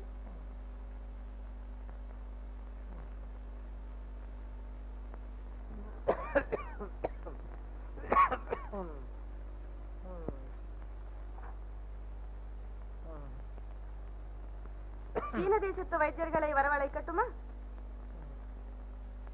மகாராஜா உங்கள் உடம்பை பற்றி எனக்கு ஒரே கவலையாக இருக்கிறது. பயப்படாதே. மேலும் இன்று என்னென்னமோ பிதற்றிக் கொண்டே இருந்தீர்கள். யார்? நானா? ஆமாம். குணாளன் குணாளன் என்று கூட என் காதல் விழுந்தது போல் இருந்தது. அதெல்லாம் இருக்காது திஷா. ஏன்? இருந்தால் என்ன? உங்களுக்கு குணாளனை பார்க்க வேண்டும் என்று இருக்காதா? திஷ்யா நீ என் பக்கத்தில் இருக்கும் போது அவனை பற்றி நான் ஏன் நினைக்கப் போகிறேன்? நீங்கள் நினைக்காவிட்டாலும் உங்கள் நெஞ்சு நினைக்கும் அல்லவா மகாராஜா குணாளன் பிரிவு உங்களை வருத்துவதாகவே தெரிகிறது. அப்படி ஒன்றுமில்லை. இல்லை இல்லை உங்களுக்கு தெரியாது. என்ன இருந்தாலும் அவன் நமது மகன்தானே. தன் விரல் கண்ணை குத்தினால் அதை கண்டிக்கலாமா? இதை நான் அப்போதே சொல்லலாம் என்றால் உங்கள் பயம்தான் ம்.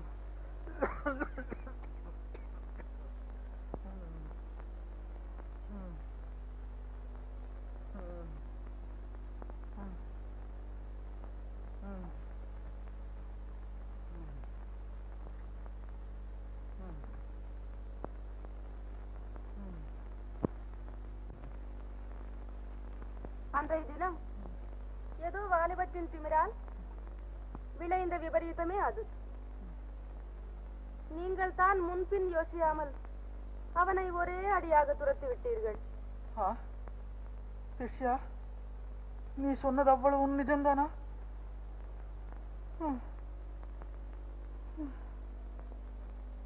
புத்திர சோகம் பெரியதுதான்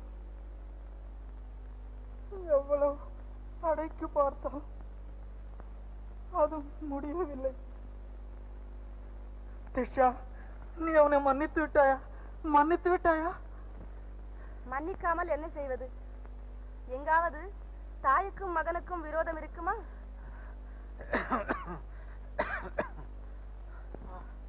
அப்போது குணாளனை எப்படியாவது இங்க வரவழைக்க ஏற்பாடு செய் இப்போதே ஆட்களை அனுப்பு. அது எப்படி முடியும்? அவன் எங்கிருக்கிறானோ? எதற்கும் பல முக்கியமான தேசங்களுக்கு தூதுவர்களை அனுப்பினால் அவனை பற்றிய தகவல் கிடைத்துவிடும். ஆமாம் திஷ்யா. ஏதோ திஷ்யா இப்போதே நீ அவனை மன்னித்து விட்டதாக கடிதங்கள் எழுதி தூதர்களை அனுப்புவி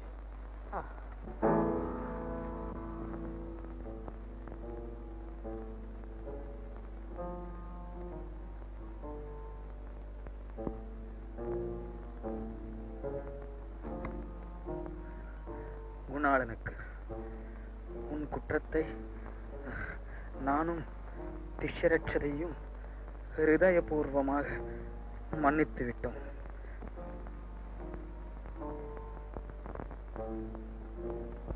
இதை நிறைவேற்ற தவறினால் உன்னையும் உன் கீழ் உள்ளவர்களையும் உயிருடன் எரித்து சாம்பலாக்கி விடுவேன் இது பயங்கரமான கட்டளை துஷ்டரட்சதையின் தூண்டுதலால் தான் இந்த சண்டாளத்தனமான ஆக்ஞை. இதில் நானும் பங்கெடுத்துக் கொள்வதா? என் மனசாட்சி என்னை வதைக்கிறது.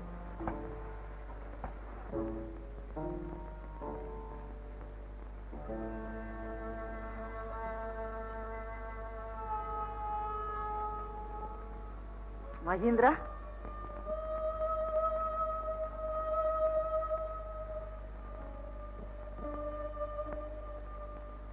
ஏன் பேச மாட்டேன் என்கிறாய்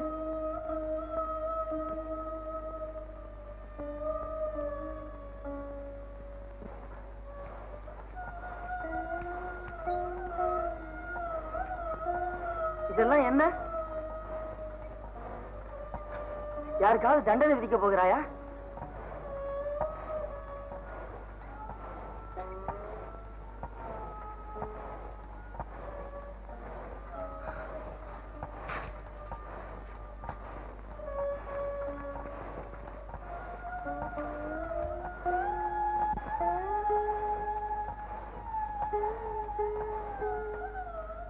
தட்சசீல நிர்வாகி மகேந்திரனுக்கு என் தேச பிரஷ்ட ஆజ్ఞையை மீறி குணாளன் உன்னுடன் அங்கு இருந்து வரும் குற்றத்திற்காக இந்த கடிதம் கண்ட க்ஷணமே பழுக்க காய்ச்சின இரும்பு கோல்களால் அவன் கண்களை குருடாக்கி துரத்திவிடும்.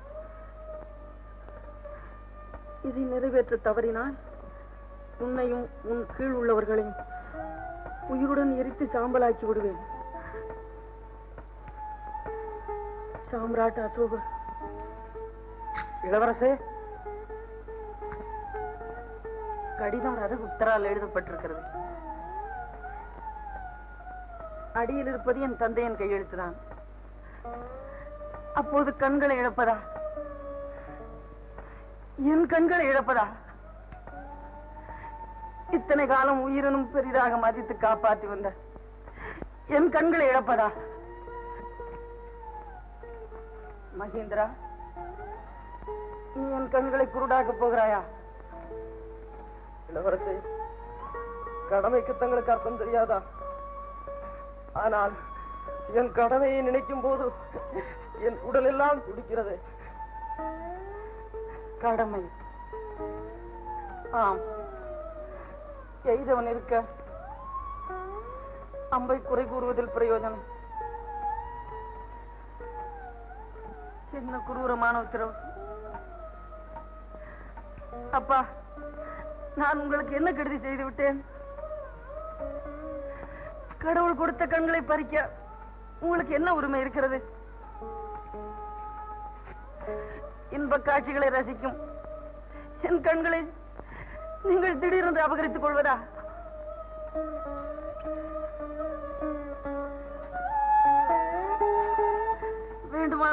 என் கால்களை வெட்டுங்கள். என் கையை வெட்டுங்கள். இந்த கொதிக்கும் எண்ணெயில் என்னை பொறித்து விடுங்கள்.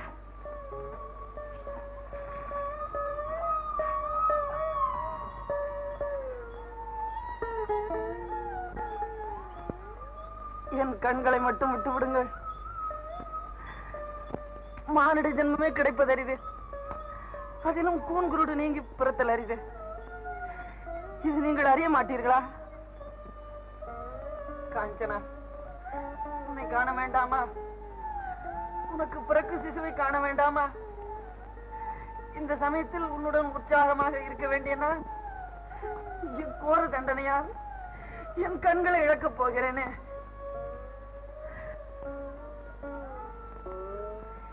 இதை நீ அறிந்தால் உன் உயிர் உடல் என்றும் ஓடிவிடாதா?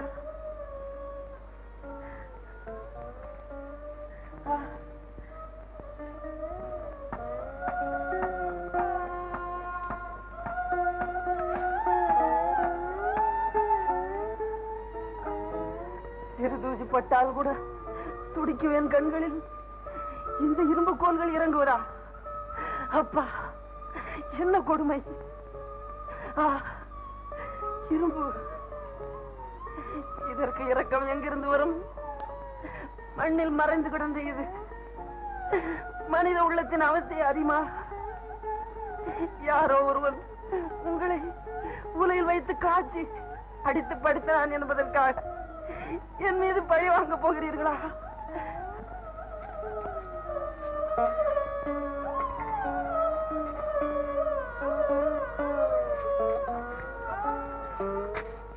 இளவரசே இது என்ன பைத்தியக்காரத்தனம்? பைத்தியக்காரத்தனம். ஆம்.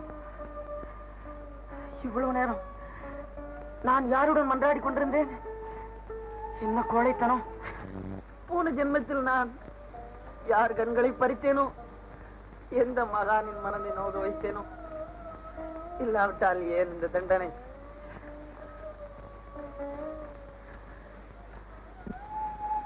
கண்கள் என் கண்கள் சதையும் ரத்தமும் பீழையும் நிறைந்த கண்கள். போனால் தான் என்ன? உலகம் குருடாகி விடாதே. பாடும் நெஞ்சே பொருள் ஏன் இப்படி பதைக்கிறாய்? அன்று பட்டாபிஷேக வைபவங்களைக் கண்டு இருமாந்தாயே இன்று கண்கள் மறைவதென்றால் கலக்கமா? வாழ்க்கை மெத்தென்றிருக்கும் பயணமான மெத்தை அல்ல. அது கரடு முரடான பா பெருங்காடு. ரோஜாவுக்கு முள்ளும் நல்ல பாம்பு ஏன் தெரியுமா? சுகத்தில் துக்கமும் இருக்கிறது என்பதை சுட்டி காட்டுவதற்கல்லவா? ஆகையினால் துன்பங்களை எப்படி வரவேற்றாயோ அப்படியே துன்பங்களை வரவேற்க துணிந்து விடு புயலுக்கு பின் அமைதி. கஷ்டத்திற்கு பின் சுகம். இதையும் மறந்து விடாதே. நெஞ்சே வருந்தாதே. உனக்கு கொஞ்ச நேரத்தில் விமோசனம் கிடைக்கப் போகிறது. கண்களினால் நீ பட்ட கஷ்டங்கள் போதும். சந்தோஷமாக இரு. மகேந்திரா அந்த கோல்களை எடு. இளவரசி என் கையால் இந்த பாதகத்தை செய்ய மாட்டேன். என் தந்தை சொல்லை தட்டி இங்கு வந்து உன் ஆதரவில் நான் அங்கம் வளர்த்தது பெருந்தவறல்லவா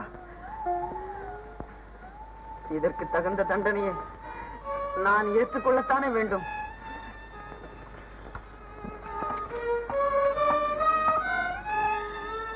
அதுவும் மகேந்திரா இதை நானே நிறைவேற்றிக் கொள்வதுதான் நேர்மையா? வேண்டாம் வேண்டாம்.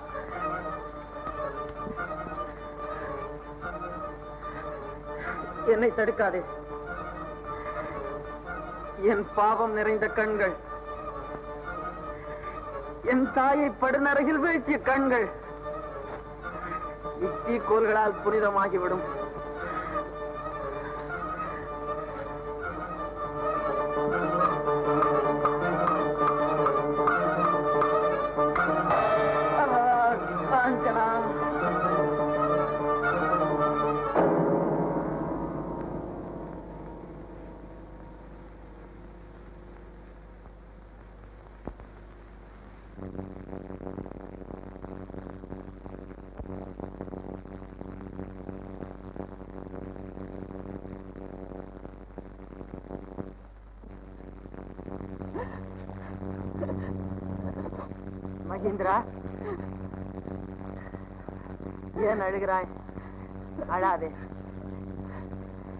கடமைக்கு பின் வாங்காது நின்ற கௌரவம் உனக்கு. தண்டனையை தாங்கிய வீரம் எனக்கு. மன ஆறுதல் ஏற்பட்டது என் தந்தைக்கு. நான் போய் வருகிறேன்.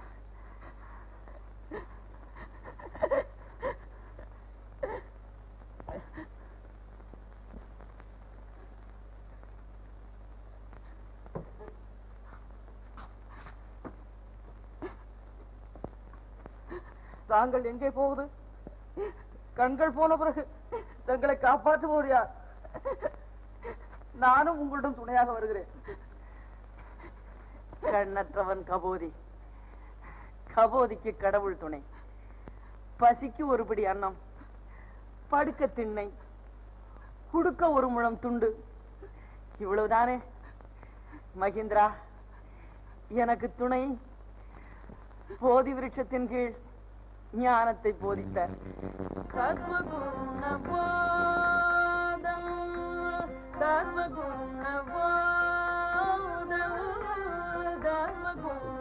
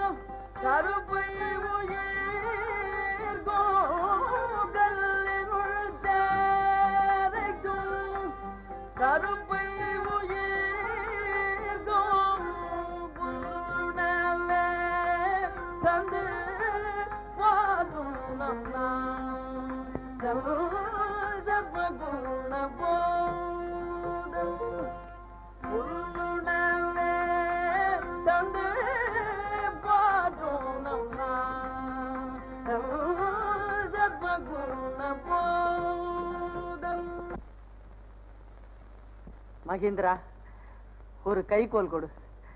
அதுதான் நீ எனக்கு செய்யக்கூடிய உதவி.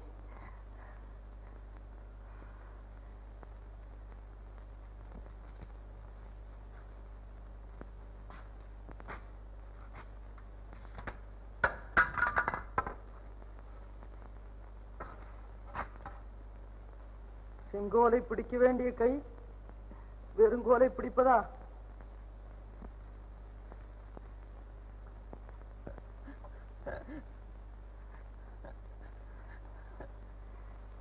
இதுதான் விதியின் விளையாட்டு.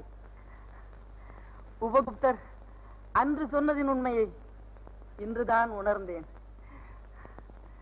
மகிந்திரா வீணில் கலங்காதே.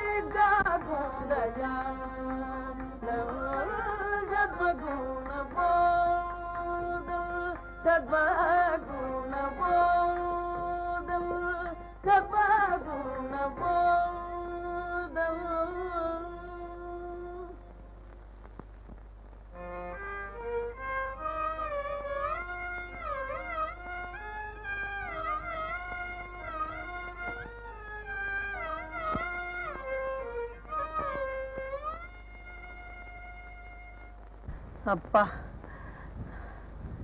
ஈஸ்வரா இன்னும் எத்தனை நாட்கள் கஷ்டப்பட வேண்டுமோ? காஞ்சனா என்ன ஆனாலோ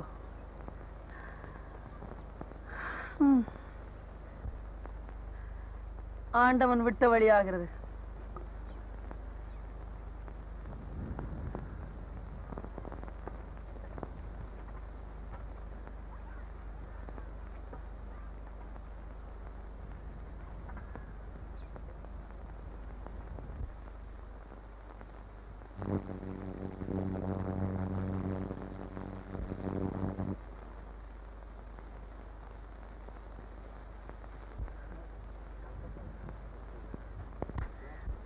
யாரப்பா நீ?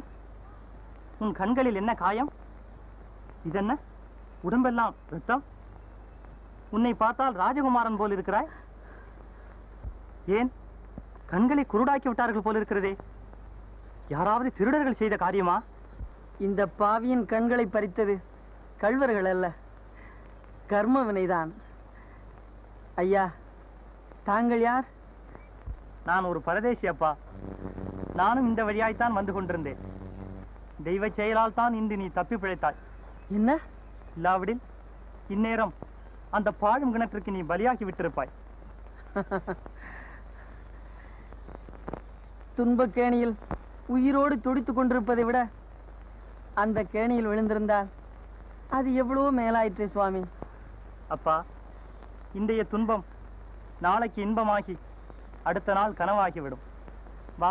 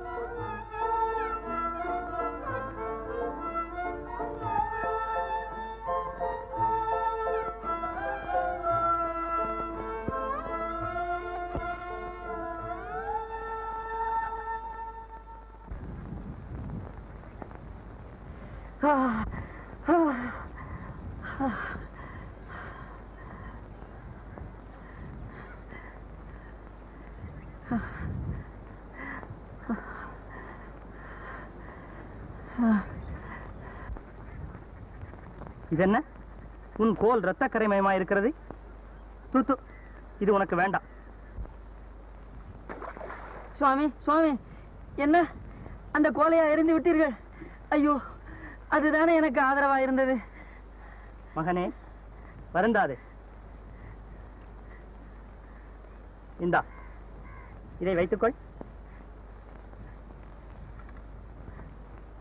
இதையும் வைத்துக்கொள். நட. சுவாமி நான் எங்கே செல்வது? அப்பா சமீபத்தில் ஒரு குக்கிராமம் இருக்கிறது. அதற்கு போகும் பாதை அதோ இருக்கிறது. உன்னை அதில் கொண்டு போய் சேர்த்து விட்டு போகிறேன். அந்த கிராமத்தார்கள் மிகவும் நல்லவர்கள். உனக்கு சாப்பாடும் இடமும் அங்கே கிடைக்கும்.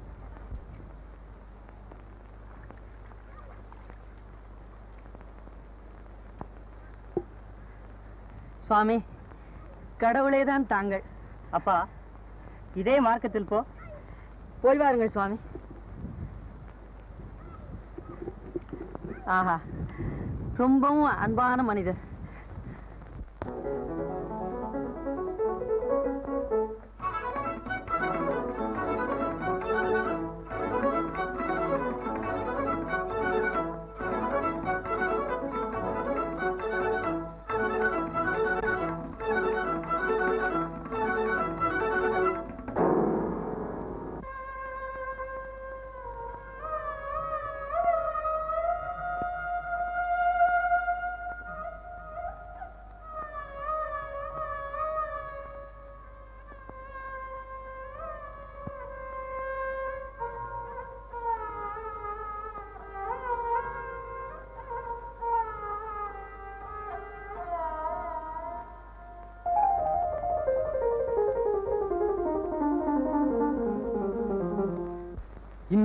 தவறி இருந்தால் பள்ளத்தில் விழுந்திருப்பாயே. அப்படியா? நான் கண் தெரியாதவன் ஐயா. தெய்வம் தான் என்னை காப்பாற்றி இருக்கிறது.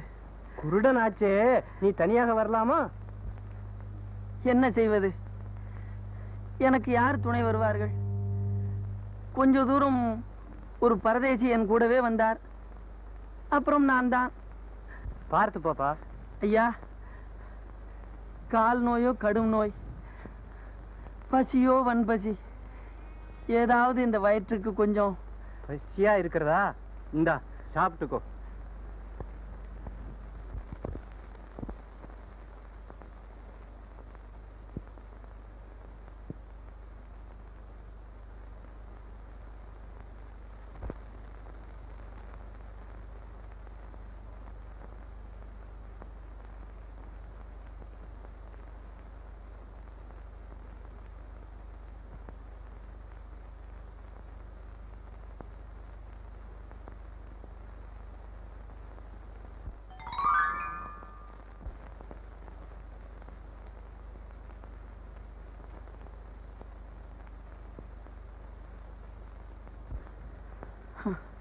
அட ஆண்டவனே.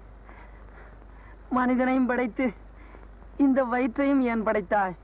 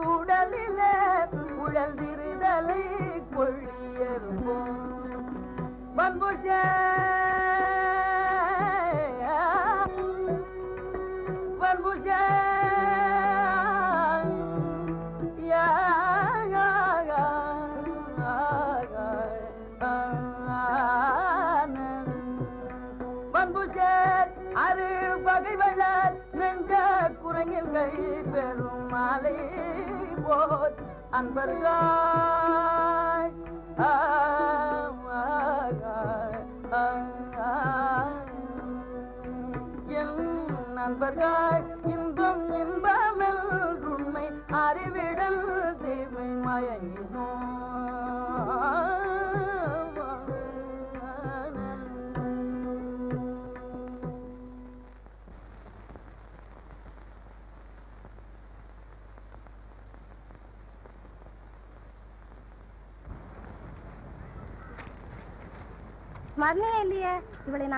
நாட்டாம கரையா விட்டு எடுத்துட்டு போலாமாடி சரி.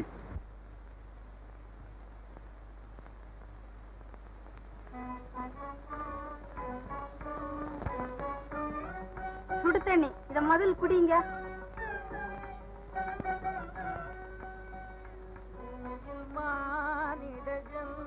சுவாமி. சுவாமி. விலங்குகள் எங்க இருக்கிறீர்கள்? அம்மா இருங்க. கொஞ்ச நேரத்துக்கு முந்தி இருந்த மாதிரி எல்லாம்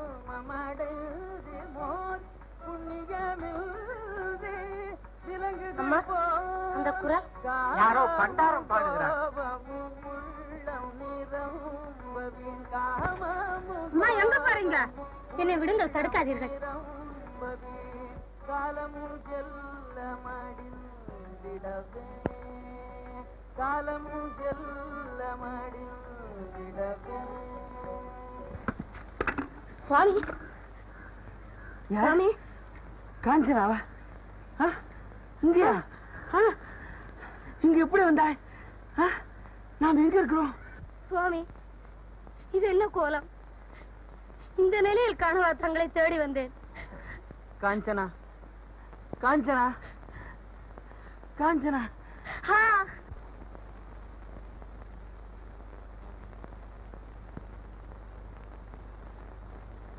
சுவாமி. இனி என்னை இந்த கண்களால் பார்க்க மாட்டீர்களா?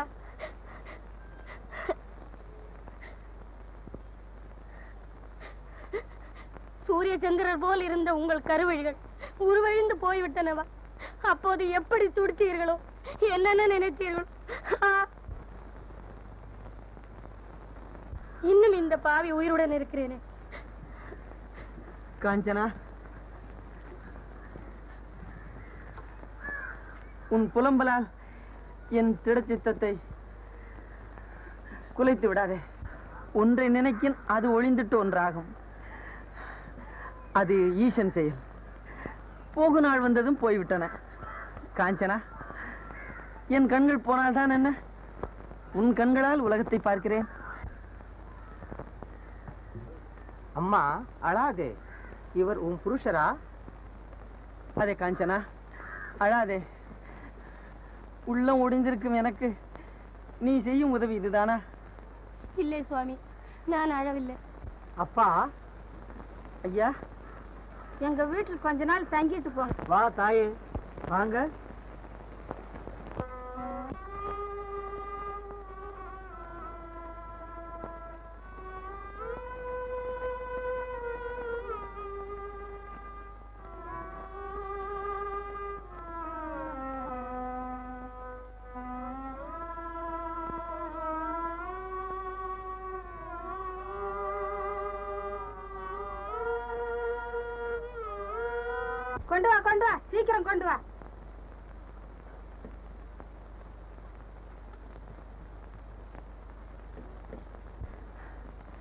பகவான். பகவான்.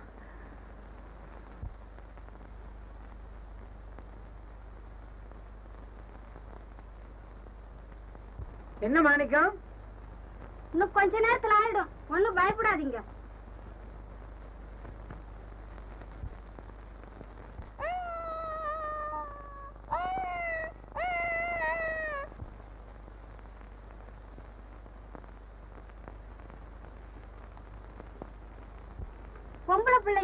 பார்த்தீங்களா? மூக்கு மொழியா செதுக்கி வச்சா போல இருக்குது.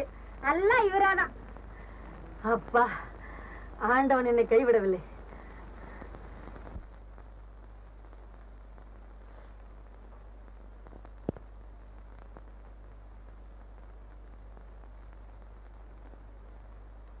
போதும் போதும். சலாம் நான் இனி இந்த ஊர்லயே இருக்க மாட்டேன். ரொம்ப நல்லதாச்சு. எங்க போறீங்களா? சக்கரவர்த்தி சொர்ணகிரிக்கு போறாரு. வைத்தியத்துக்கு நான் போறேன். நிஜமாவா? இவர் சொன்னா சொன்னதுதான். எவர்? இவர். மகாராஜா வைத்தியத்துக்கு நீங்களா? ஆமா. இவரை என்னன்னு நினைச்ச? அரண்மனையில கூட இவரை பத்தி பேச்சு. என்ன தெரியுமா? இந்த முகத்தை பார்க்கும்போது இவர் பெரிய வைத்தியர் ஆவாருன்னு. திரும்பி வர இவர் இவர் மாசம் ஆறு ஆகும் ஆறோ குளமோ ஆகட்டும். மகாராஜா வைத்தியத்துக்கு நீங்க போறீங்கங்கிறது எனக்கு நம்பிக்கை இல்ல. நம்பிக்கை இல்லையா. கொஞ்சம் பொறு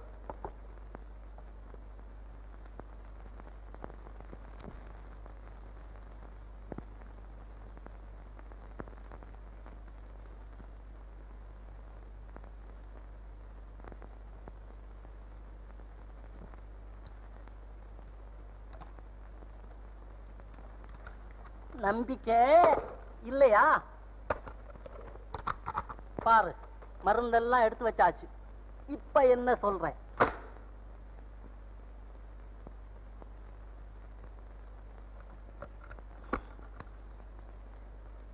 ஏய் என்ன யோசிக்கிற?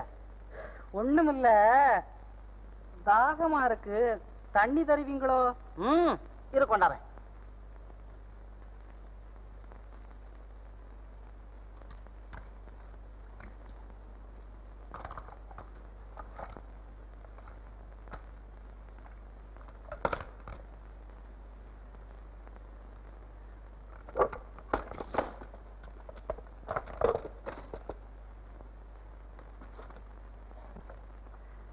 இழுத்து அணைத்து இறுக பிடித்து ஹம், என்ன திமிரு.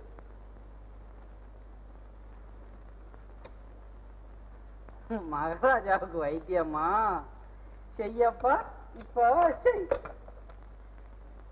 ஏய் என்ன சொன்ன? ஒண்ணுமில்லையா செவிட என்ன நினைச்ச? தண்ணிய கொடுங்க. கொடுப்பேன். மகாராஜாவுக்கு வைத்தியம் செய்ய போறேன்னு கேலியா செய்யற? மரியாதையா சொன்னது தப்புன்னு கன்னத்துல போட்டுக்கோ. இல்லைன்னா இல்லைன்னா தண்ணிய தலையில ஊத்திடுவேன் ஆமா. ஊத்துவ? ஊத்துனா அப்புறம் என்ன நடக்கும் தெரியுமில்ல என்னப்பா நடக்கும்? என்ன நடக்கும் தெரியலையே. தாகத்துக்கு தண்ணி கேட்டா மேல ஊத்துவியான் தா தப்புன்னு கன்னத்துல போடுறியா? என்ன? இல்லைன்னா? இல்லைன்னா? போட்டுக்கிறியா இல்லையா? முடியாது. கடைசி முறை சொல்லிட்டேன். ஊத்து ஊத்தி ஊத்தி தான் பாரு ஊத்திடுவேன். ஊத்தி பாரு. ஊத்திடுவேன். இது முதல்லயே செஞ்சா என்ன? ஏய் எங்க பார்த்து நமஸ்காரம் போடுற? இந்தா இருக்கேன்.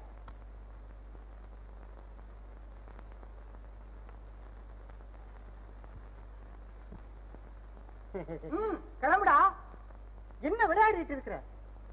பிரமிளாமா வந்தாச்சு. மருந்து பொட்டி எடுத்துக்கோ. போடா. பாத்தியா? கேலி செஞ்சு. இது வரேன்.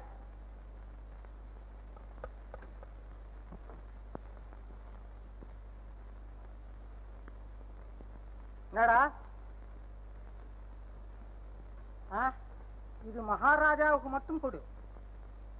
இது சர்வரோக நிவாரணி. மகாராணி கொடு. ஒழுங்காக கவனிச்சுக்கோ. உங்க ஒப்பம் பேரை கெட்டுவிடாதே சரியப்பா.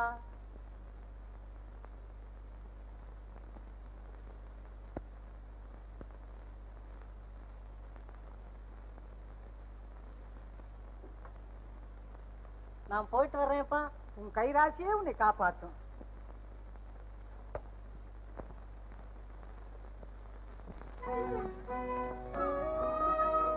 மனமே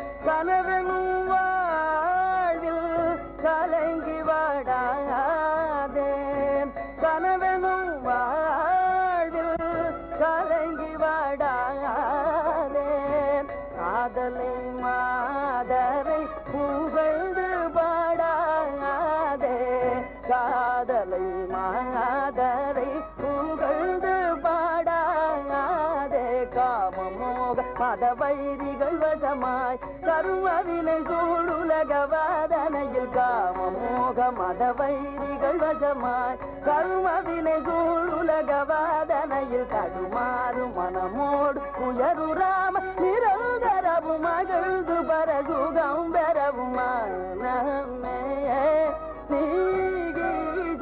நாமத்தை வாழ்த்துவாய் தினம் வாழ்த்துவாய்.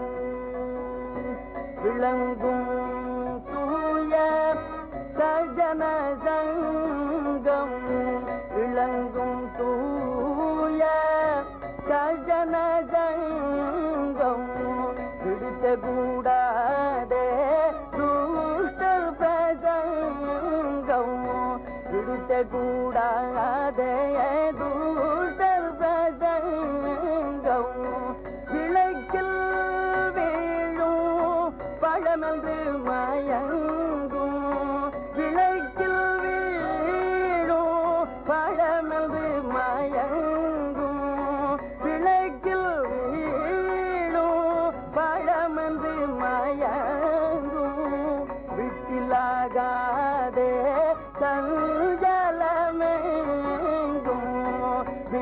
விட்டிலாகாதே சஞ்சலமெங்கும் மனமே. நீகிஜம் நாமத்தை வாழ்த்துவாய் தினம் வாழ்த்துவாய்.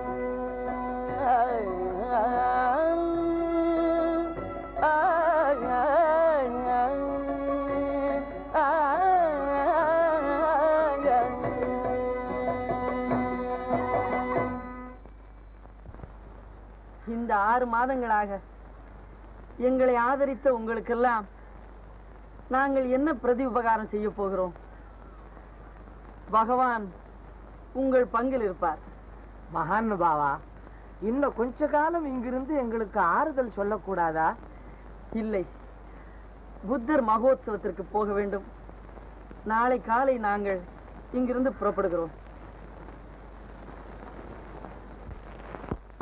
பூமியில்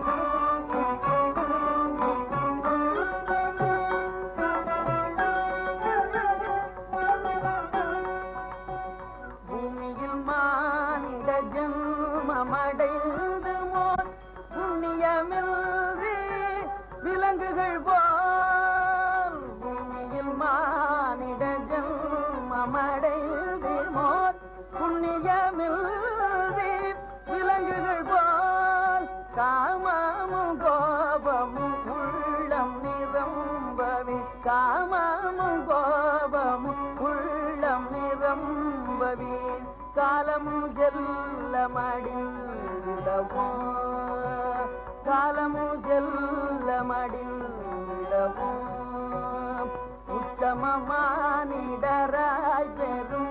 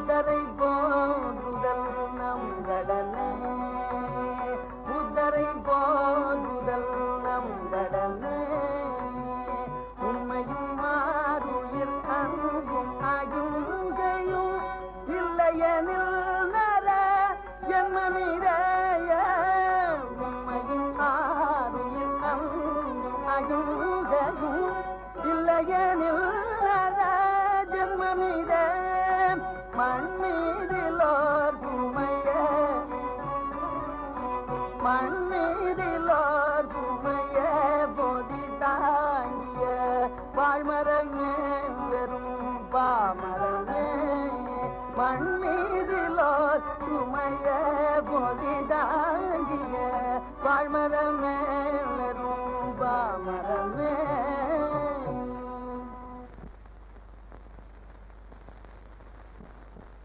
வாங்க வாங்க. இவருக்கு மூணு நாளா காய்ச்சலாம். உனக்கு என்னப்பா? இரும்புருங்க. நீ என்ன சொன்ன? வயிற்று வலிங்க. உனக்கு என்ன அம்மா பல்வலிங்க பல்வலியா உனக்கு என்னம்மா ஒரு வருஷமா ஒத்த தலைவலிங்க ஓஹோ. உனக்கு என்ன ஐயா அந்த பிள்ளைக்கு அடிக்கடிக்கு மழக்கம் வருதுங்க. மயக்கமா? நீ எங்கேயா வந்த? மூணு பேரும் சும்மா வந்தங்க. சும்மா வந்த? சரிதான்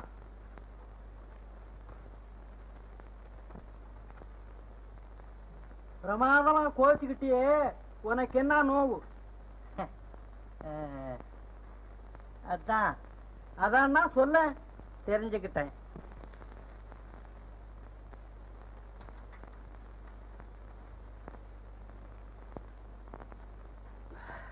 எங்க போறீங்க? எங்கயா.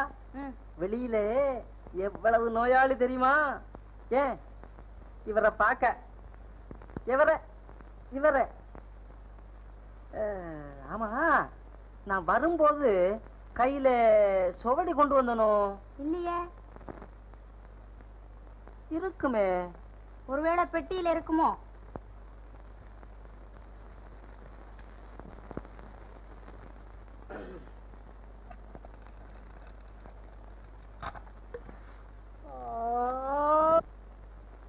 என்னங்க?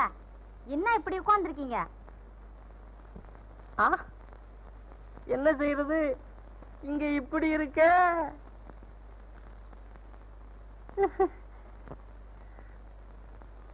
அங்க காத்துக்கிட்டு இருக்காங்களே. எல்லா விஷயமும் இப்படித்தானா?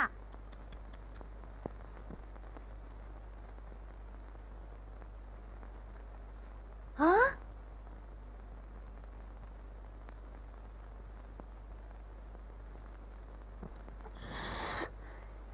போடாதே.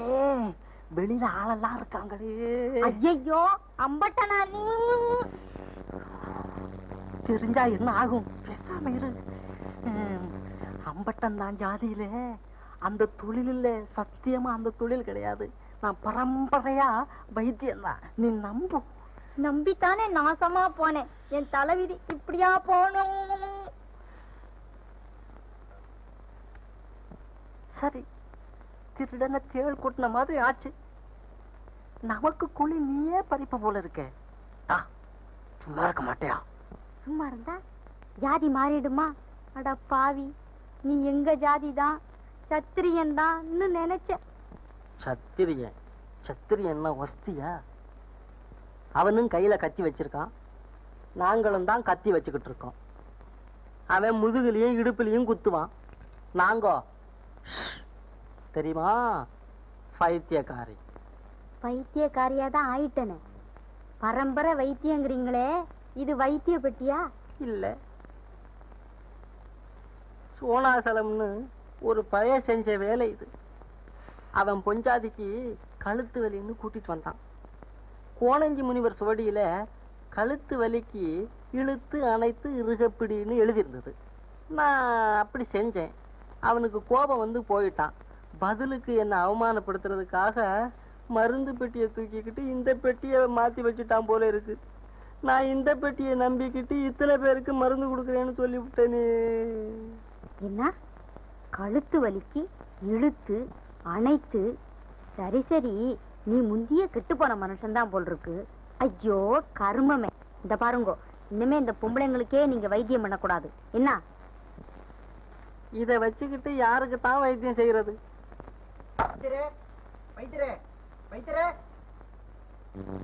என்ன கையை இப்படி வைக்காதீங்க. ஏன் அசிங்கமா இருக்கு. கையா? ஆமா. இப்போ? இப்போ? ஐயோ தொடாதீங்க. ஏனா பாரேன் எப்படி இருக்கு? Base base. பேஸ் சரி சரி.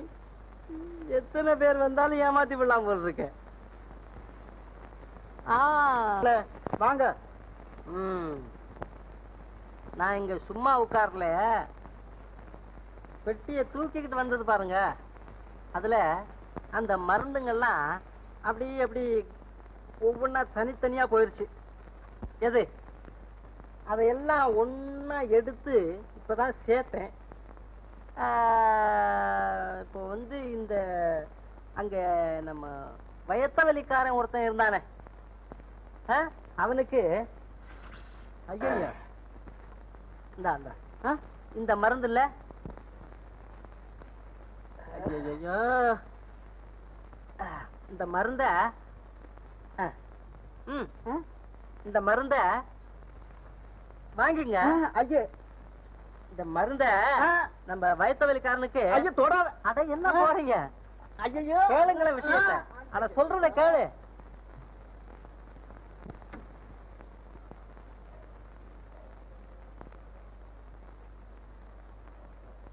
என்னண்ணே ஒரு மாதிரியா வர்றே? ம், சத்திரியன் தான் ஒசத்தின்னியே இவருக்கு மூளை எப்படி? இவருக்கு. இவருக்கு. சரி. அவன் வந்து நம்மளையும் விரட்டிடுவான். சொர்ணகிரிக்கும் போக முடியாது. ரொம்ப நாளாகி போச்சு. ராணி என்ன சேர்த்துக்க மாட்டா. இரு இரு. என்ன என்னமோ சொன்னியே.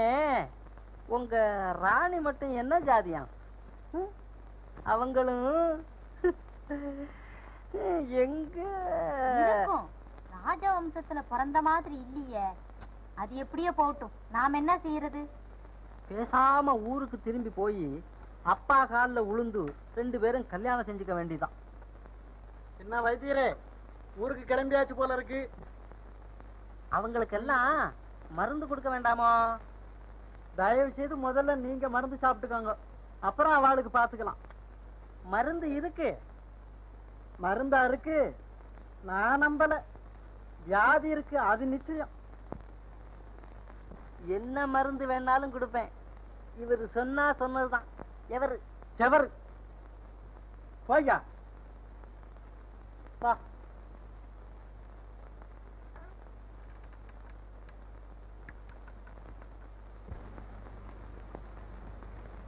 அப்போ வர்றேனுங்க. ஐயோ வர வேண்டாம். போனா போறோம் சரி. வா. வா.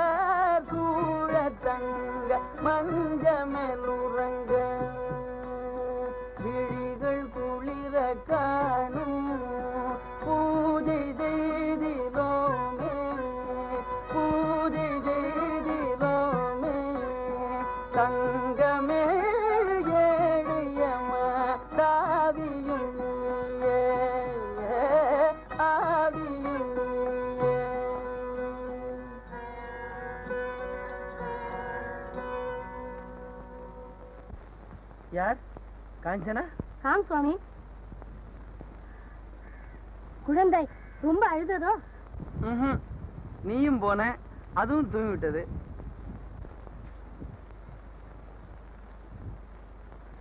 கண்ணு காஞ்சனா அது ஏன் எழுப்புகிறாய்? அம்மா அம்மா என் தட்டு அரை தூக்கத்துல எழுப்புனா குழந்தைக்கு அற்பாயுசுன்னு சொல்லுவாங்க. அதை எழுப்பாத காஞ்சனா. இன்றைக்கு நமக்கு விருந்துதான் காஞ்சனா முதலில் குழந்தைக்கு பால் வாங்கி வா. எழுந்ததும் கொடுக்கலாம்.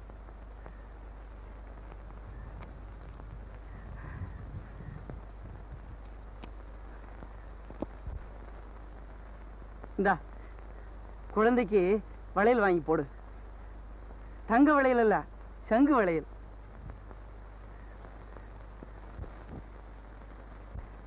காஞ்சனா நம் கண்ணுக்கு தங்கத் தொட்டில் படுக்க பஞ்சனை சுற்றிலும் தாதிகள். இதுவெல்லாம் கிடைக்குமா? ஹம், இதுவெல்லாம் எதற்கு? தங்குவதற்கு நிழல் இந்த ஏணை பசி அறியாத வயிறு நோயற்ற வாழ்வு. இதுவே போதும்.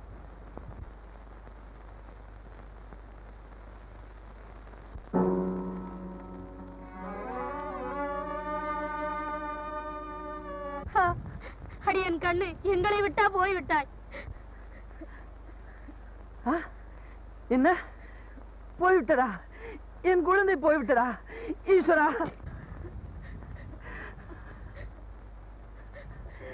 என் கண்ணை பிடுங்கினது போராதென்று என் பெண்ணையும் பிடுங்கி விட்டாயோ?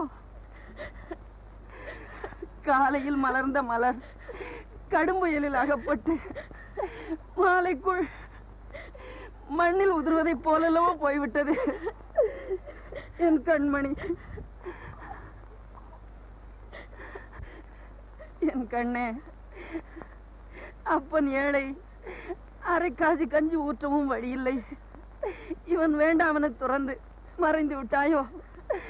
என் செல்வமே கருவுற்ற நாளிலும் தரையுற்ற நாளிலும் வந்த கஷ்டங்களை தாங்க முடியாமல் எங்களை விட்டு பறந்து விட்டாயோ? காஞ்சனா அழாத காஞ்சனா. நாம் பட வேண்டிய கஷ்டமெல்லாம் பட்டாய்விட்டது. இனிமேல் நமக்கு ஏதாவது வர வேண்டும் என்றால் அது ஒன்று சாவு அல்லது சுகம்தான். நமக்கா? சுவாமி நம் வாழ்க்கையில் நமக்கு சுகமா? கிடையாது. அது மட்டும் கிடையாது. ஆமாம். புத்த பகவானே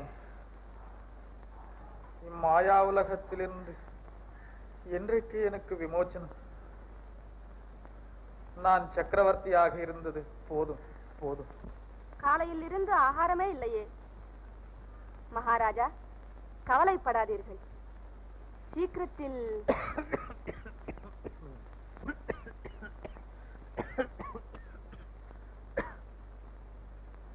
சிஷ்யா என்னால் தாங்க முடியவில்லையே.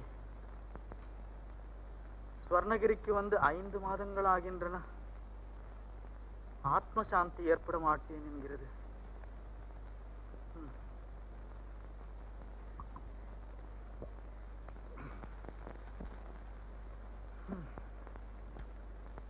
எவ்வகையிலும் எனக்கு ஆறுதல் அளித்து வந்த உபகுப்தரின் தரிசனமும் கிடைக்க மாட்டேன் என்கிறது. சுவாமி எத்தனை நாட்களுக்கு இந்த நரக வேதனை? பொய்யை மெய்யாய் பாதி வாழும் நாயோர் எலும்பை தூக்கி அலையும். பொய்யை மெய்யாய் பாதி வாழும் நாயோர் எலும்பை தூக்கி அலையும். நியாயமதே போ நீயலையாதே நியாயமதே போ நீயலையாதே நானிலமே நலமெந்தே நீ நம்பி மோசமடைந்து பாழாகாதே. மோசமடைந்து பாழாகாதே.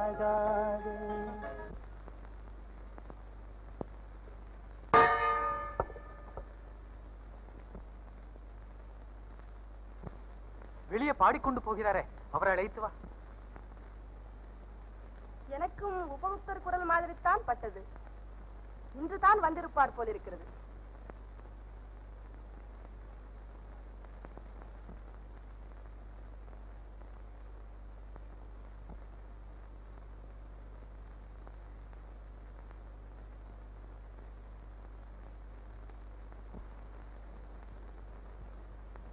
உன் கிருபையே கிருபை.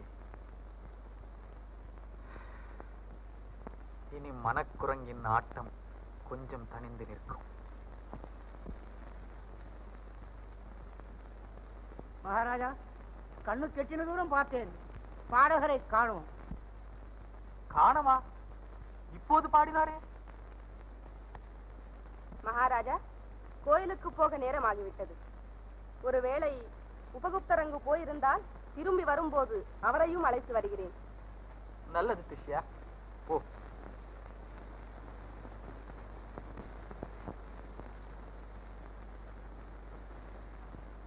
புத்தர் பெருமானிடம் வந்திருக்கிறேன்.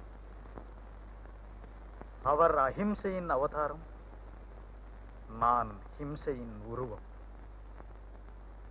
எவ்வளவு வேறுபாடு. லோகத்தின் துன்பங்களை காண செய்யாது. அரண்மனை போகங்களை துறந்த அந்த சித்தார்த்தன் எங்கே? மோகமே மோட்சம் என கிடக்கும் இந்த அசோகன் எங்கே?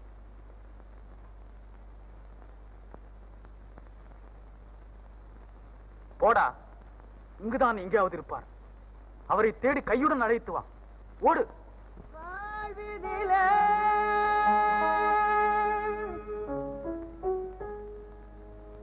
சுகமே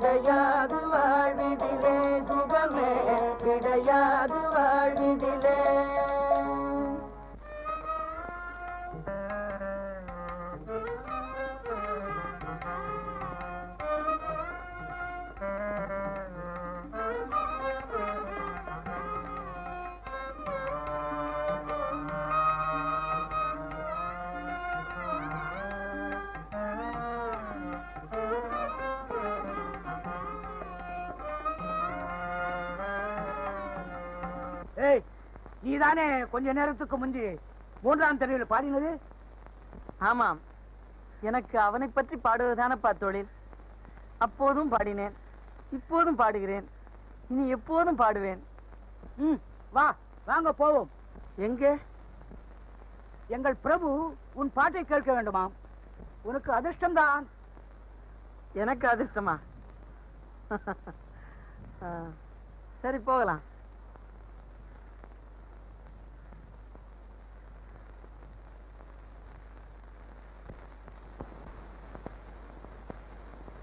பகவான். நான் சக்கரவர்த்தி. என் விரல் அசைந்தால் இந்த நாடே அசையும். இருந்தும் குணாளம்தான் எனக்கில்லை. எட்டா பொருள் என்று அறியாது நான் செய்த பாவங்கள் எத்தனையோ. பிரபு நான் மகா பாவி. மகாராணி என் அப்பன் சன்னிதானத்தில் எவருமே பாவி இல்லை. அவன் கருணா சமுத்திரம். கே கட்டாயம் கிடைக்கும். சுவாமி நான் பண்ணின பாவங்களுக்கு மன்னிப்பு உண்டா? தயாநிதி கண்களிருந்தும் அவை இல்லாத பாவியானேன். நீதான் எனக்கு.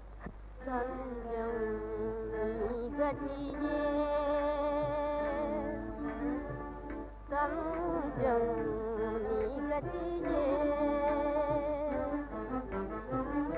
अजेलन अभय अरुणि दिं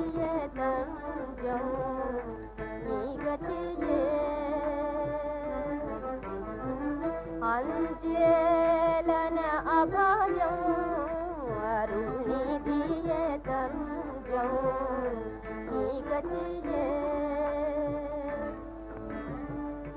பஞ்சமா பாதகம் பல புரிந்தேனே. பஞ்சமா பாதகம் பல புரிந்தேனே. பாவி நான் ஏன் பிறந்தேன்? புவி மீதே. பாவி நான் ஏன் பிறந்தேன்? சரண் தஞ்சம் நீ கத்தியே அஞ்சேலன அபயம் அருணிதிய தஞ்சம் நீகத்தியே. மீறிய காமத்தில் வரையறை மீறி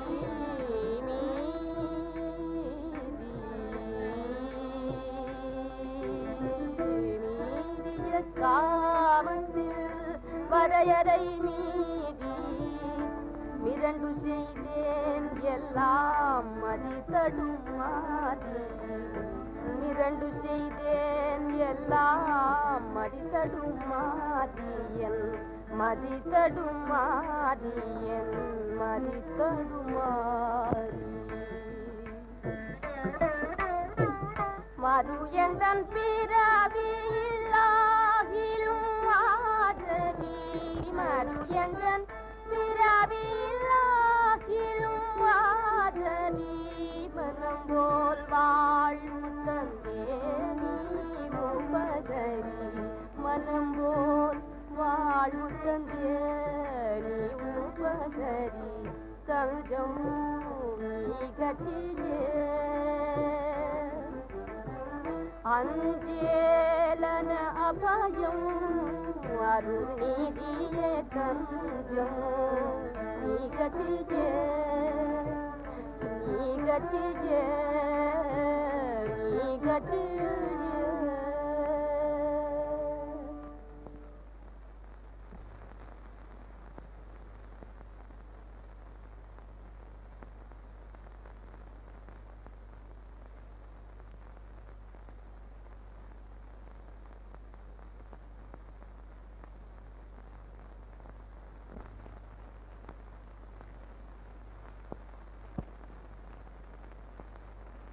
சுவாமி.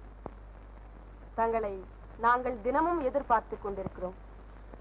மகாராஜா தங்களை பார்க்க மிகவும் ஆவலாக இருக்கிறார்.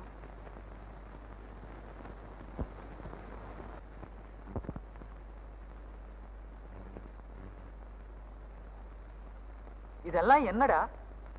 அவர் எங்கே? அதோ அவருக்காக தான் இந்த திரை மகாராஜா. அவருக்காக திரையா? என்ன உளறுகிறாய்? ஆமா மகாராஜா. அந்த பாடகர் ஒரு குருடர். அரசர்கள் அந்தகர்களை பார்க்க கூடாதல்லவா பிக்ஷுவை அழைத்து வரச் சொன்னால் எவனோ ஒரு குருடனை கொண்டு வந்திருக்கிறாயே. கர்மம் கர்மம். அவளையும் காணும் பிக்ஷுவையும் காணும். தடியன். பாப்பா வாங்க போவோம். ஏனப்பா நான் பாட வேண்டாமா? பாட்டிங்க வேண்டாமா நீ போயிட்டு வா.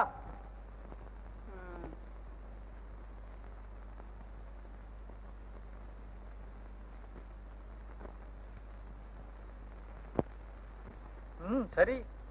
யாராவது இருக்கட்டும். கூப்பிட்டவனை பாட சொல். மகாராஜா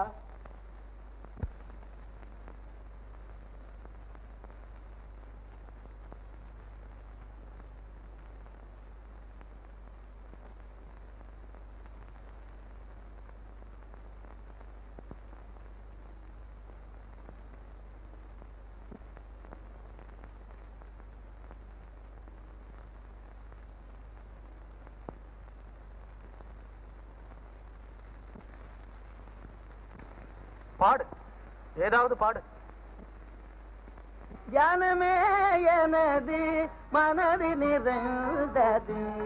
சந்திரபிம்பவதனம் கரில் தினம் ஜானமே எனது மனது நிறைந்தது. சந்திரபிம்பவதனம் கரில் தினம் ஜானமே எனது மனது நிறைந்தது. சந்திரபிம்ப வதனம் கனில் தினம் ஞானமே? தியானமே இது என் குணாளனுக்கு பிரியமான பாட்டல்லவா? அரியல் நாள் காந்த சக்தியையும் நாள் அரியல் நாள் காந்த சக்தியையும் நாள் அரியல் இருகள் மயங்கி சுவாதீனோ சிந்தி காந்த சக்தியையும் நாள் அரியல் இருகள் மயங்கி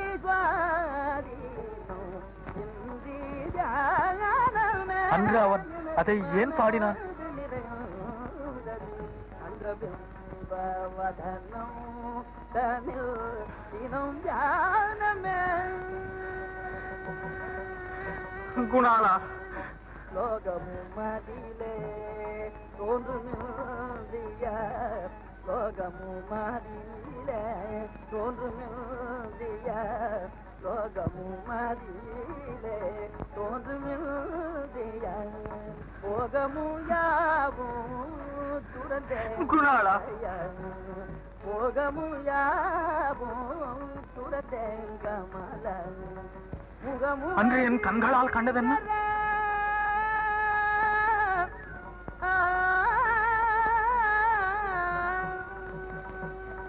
இல்லை இல்லை. குணாலா வா.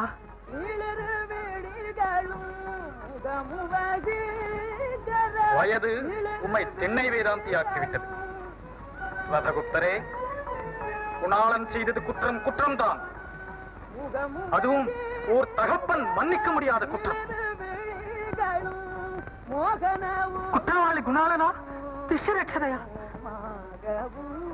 மோகன பெயரும் குணாளா? குணாளா? குணாளா? குணாளா? அப்பா அப்பா. எங்கேடா இருக்கிறாய்? இங்குதானப்பா இருக்கிறேன். எங்கே? எங்கே என் குணாளன்? இதோ இதோ அப்பா. நீ குணாளன். என் மகன்? ஆம். இல்லை இல்லை. நீ ஒரு பிச்சைக்காரன். அப்பா என்ன தெரியவில்லையா உங்களுக்கு? நன்றாக பாருங்கள். இரு. நீ என் குணாளனைப் போலத்தான் இருக்கிறாய்.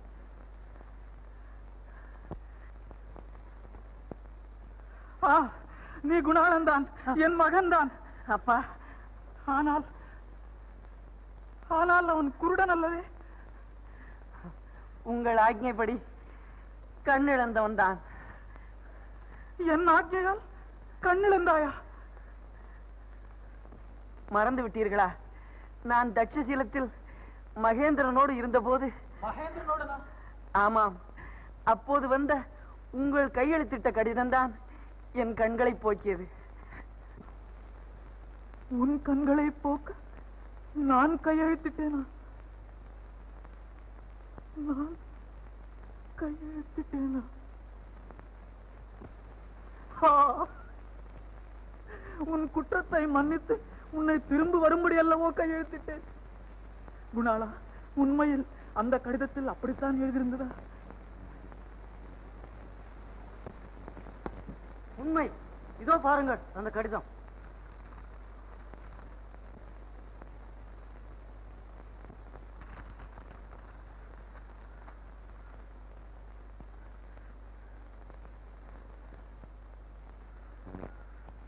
இது படு மோசமான சூழ்ச்சி. அவள் தவிர வேற எவரும் செய்திருக்கவே முடியாது. திஷ்யரட்சதை. இப்போதுதான் தெரிகிறது அவள் உண்மை சுரூபம். சண்டாளி வேசி. மோசக்கார் என்பதை அறியாமல் நாய் போல் அவள் காலடியில் விழுந்து கிடந்தேன்.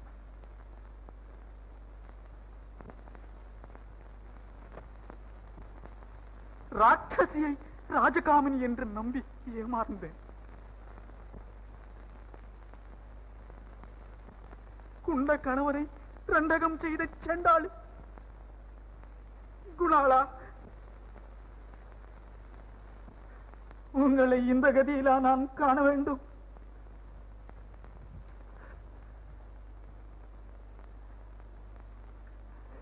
என் பாவங்களுக்கு இவ்வளவு பயங்கரமான தண்டனையா? அப்பா. ஹே பகவானே. ஏ ராஜன் போனதை நினைத்து புலம்புவதால் பலன்? சுவாமி திரிகாலஜானியாகிய தாங்கள் அந்த விபச்சாரியின் வஞ்சனைகளை ஏன் மறைத்து விட்டீர்கள்? அவள் பாவம். திஷ்யரட்சிதை என்ன செய்வாள்? குணாளன் விதிப்பயனுக்கு அவள் ஒரு துணைக்கருவி. அவ்வளவுதான். எவரையும் பழி சொல்லாதே. கடல் அலையை நிறுத்த முடியுமானால் கடவுளின் விதியையும் நிறுத்தலாம். அப்பா நடந்தது நடந்து விட்டது. சுவாமி என் குணாளனை பாருங்கள். அவன் அழகான சரீரம் எங்கே அவன் எவ்வளவு உருண்டு திரண்ட தோள்கள் எங்கே இவையெல்லாம் எங்கே போய்விட்டன? விளக்கில்லாத வீடு போல் நிற்கும் இந்த நிலைமைக்கு அவனை கொண்டு வந்து விட்டது. நான் தான். நான் தான். அசோகனே. சுவாமி என் குணாளன் இழந்த கண்களை திரும்பவும் பெற முடியாதா? கண்ணில்லாதவனாகவே காலத்தை கழிக்க வேண்டியதுதானா? சின்னன் சிறு வயதில் அவன் மலர்ந்த விழிகளை பார்த்து மகிழ்ந்த நான். இப்போது என் தள்ளாத வயதில் இந்த இரண்டு குழிகளை பார்த்து உயிரோடு இருப்பதா? சுவாமி இல்லை நான் உயிர் வாழ மாட்டேன். ராஜன் பதறாதே. ஆலயத்திற்கு செல்வோம். அவன் முன்பு அழுதால் அருள் கிடைக்கும். புறப்படு. சுவாமி வாருங்கள் வாருங்கள். குணாலா வா. வாடா என் கண்ணு.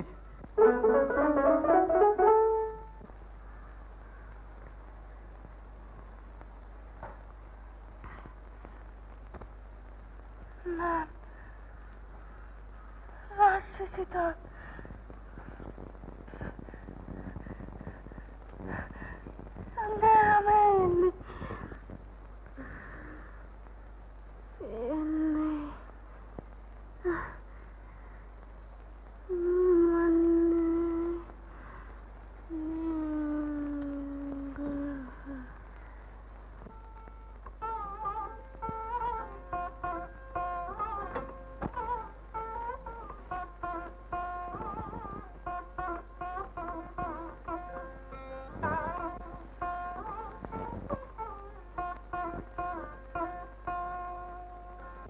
சுவாமி.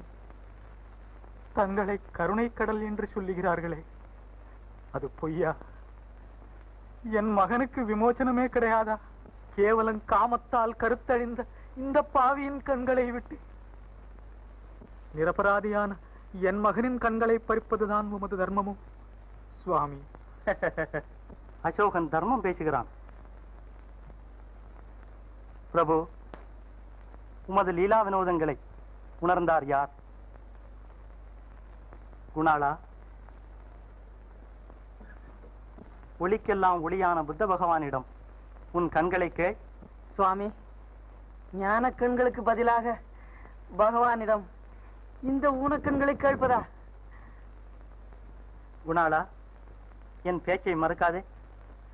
இல்லை சுவாமி என் அப்பனை துதிப்பதை விட எனக்கு வேற என்ன வேலை?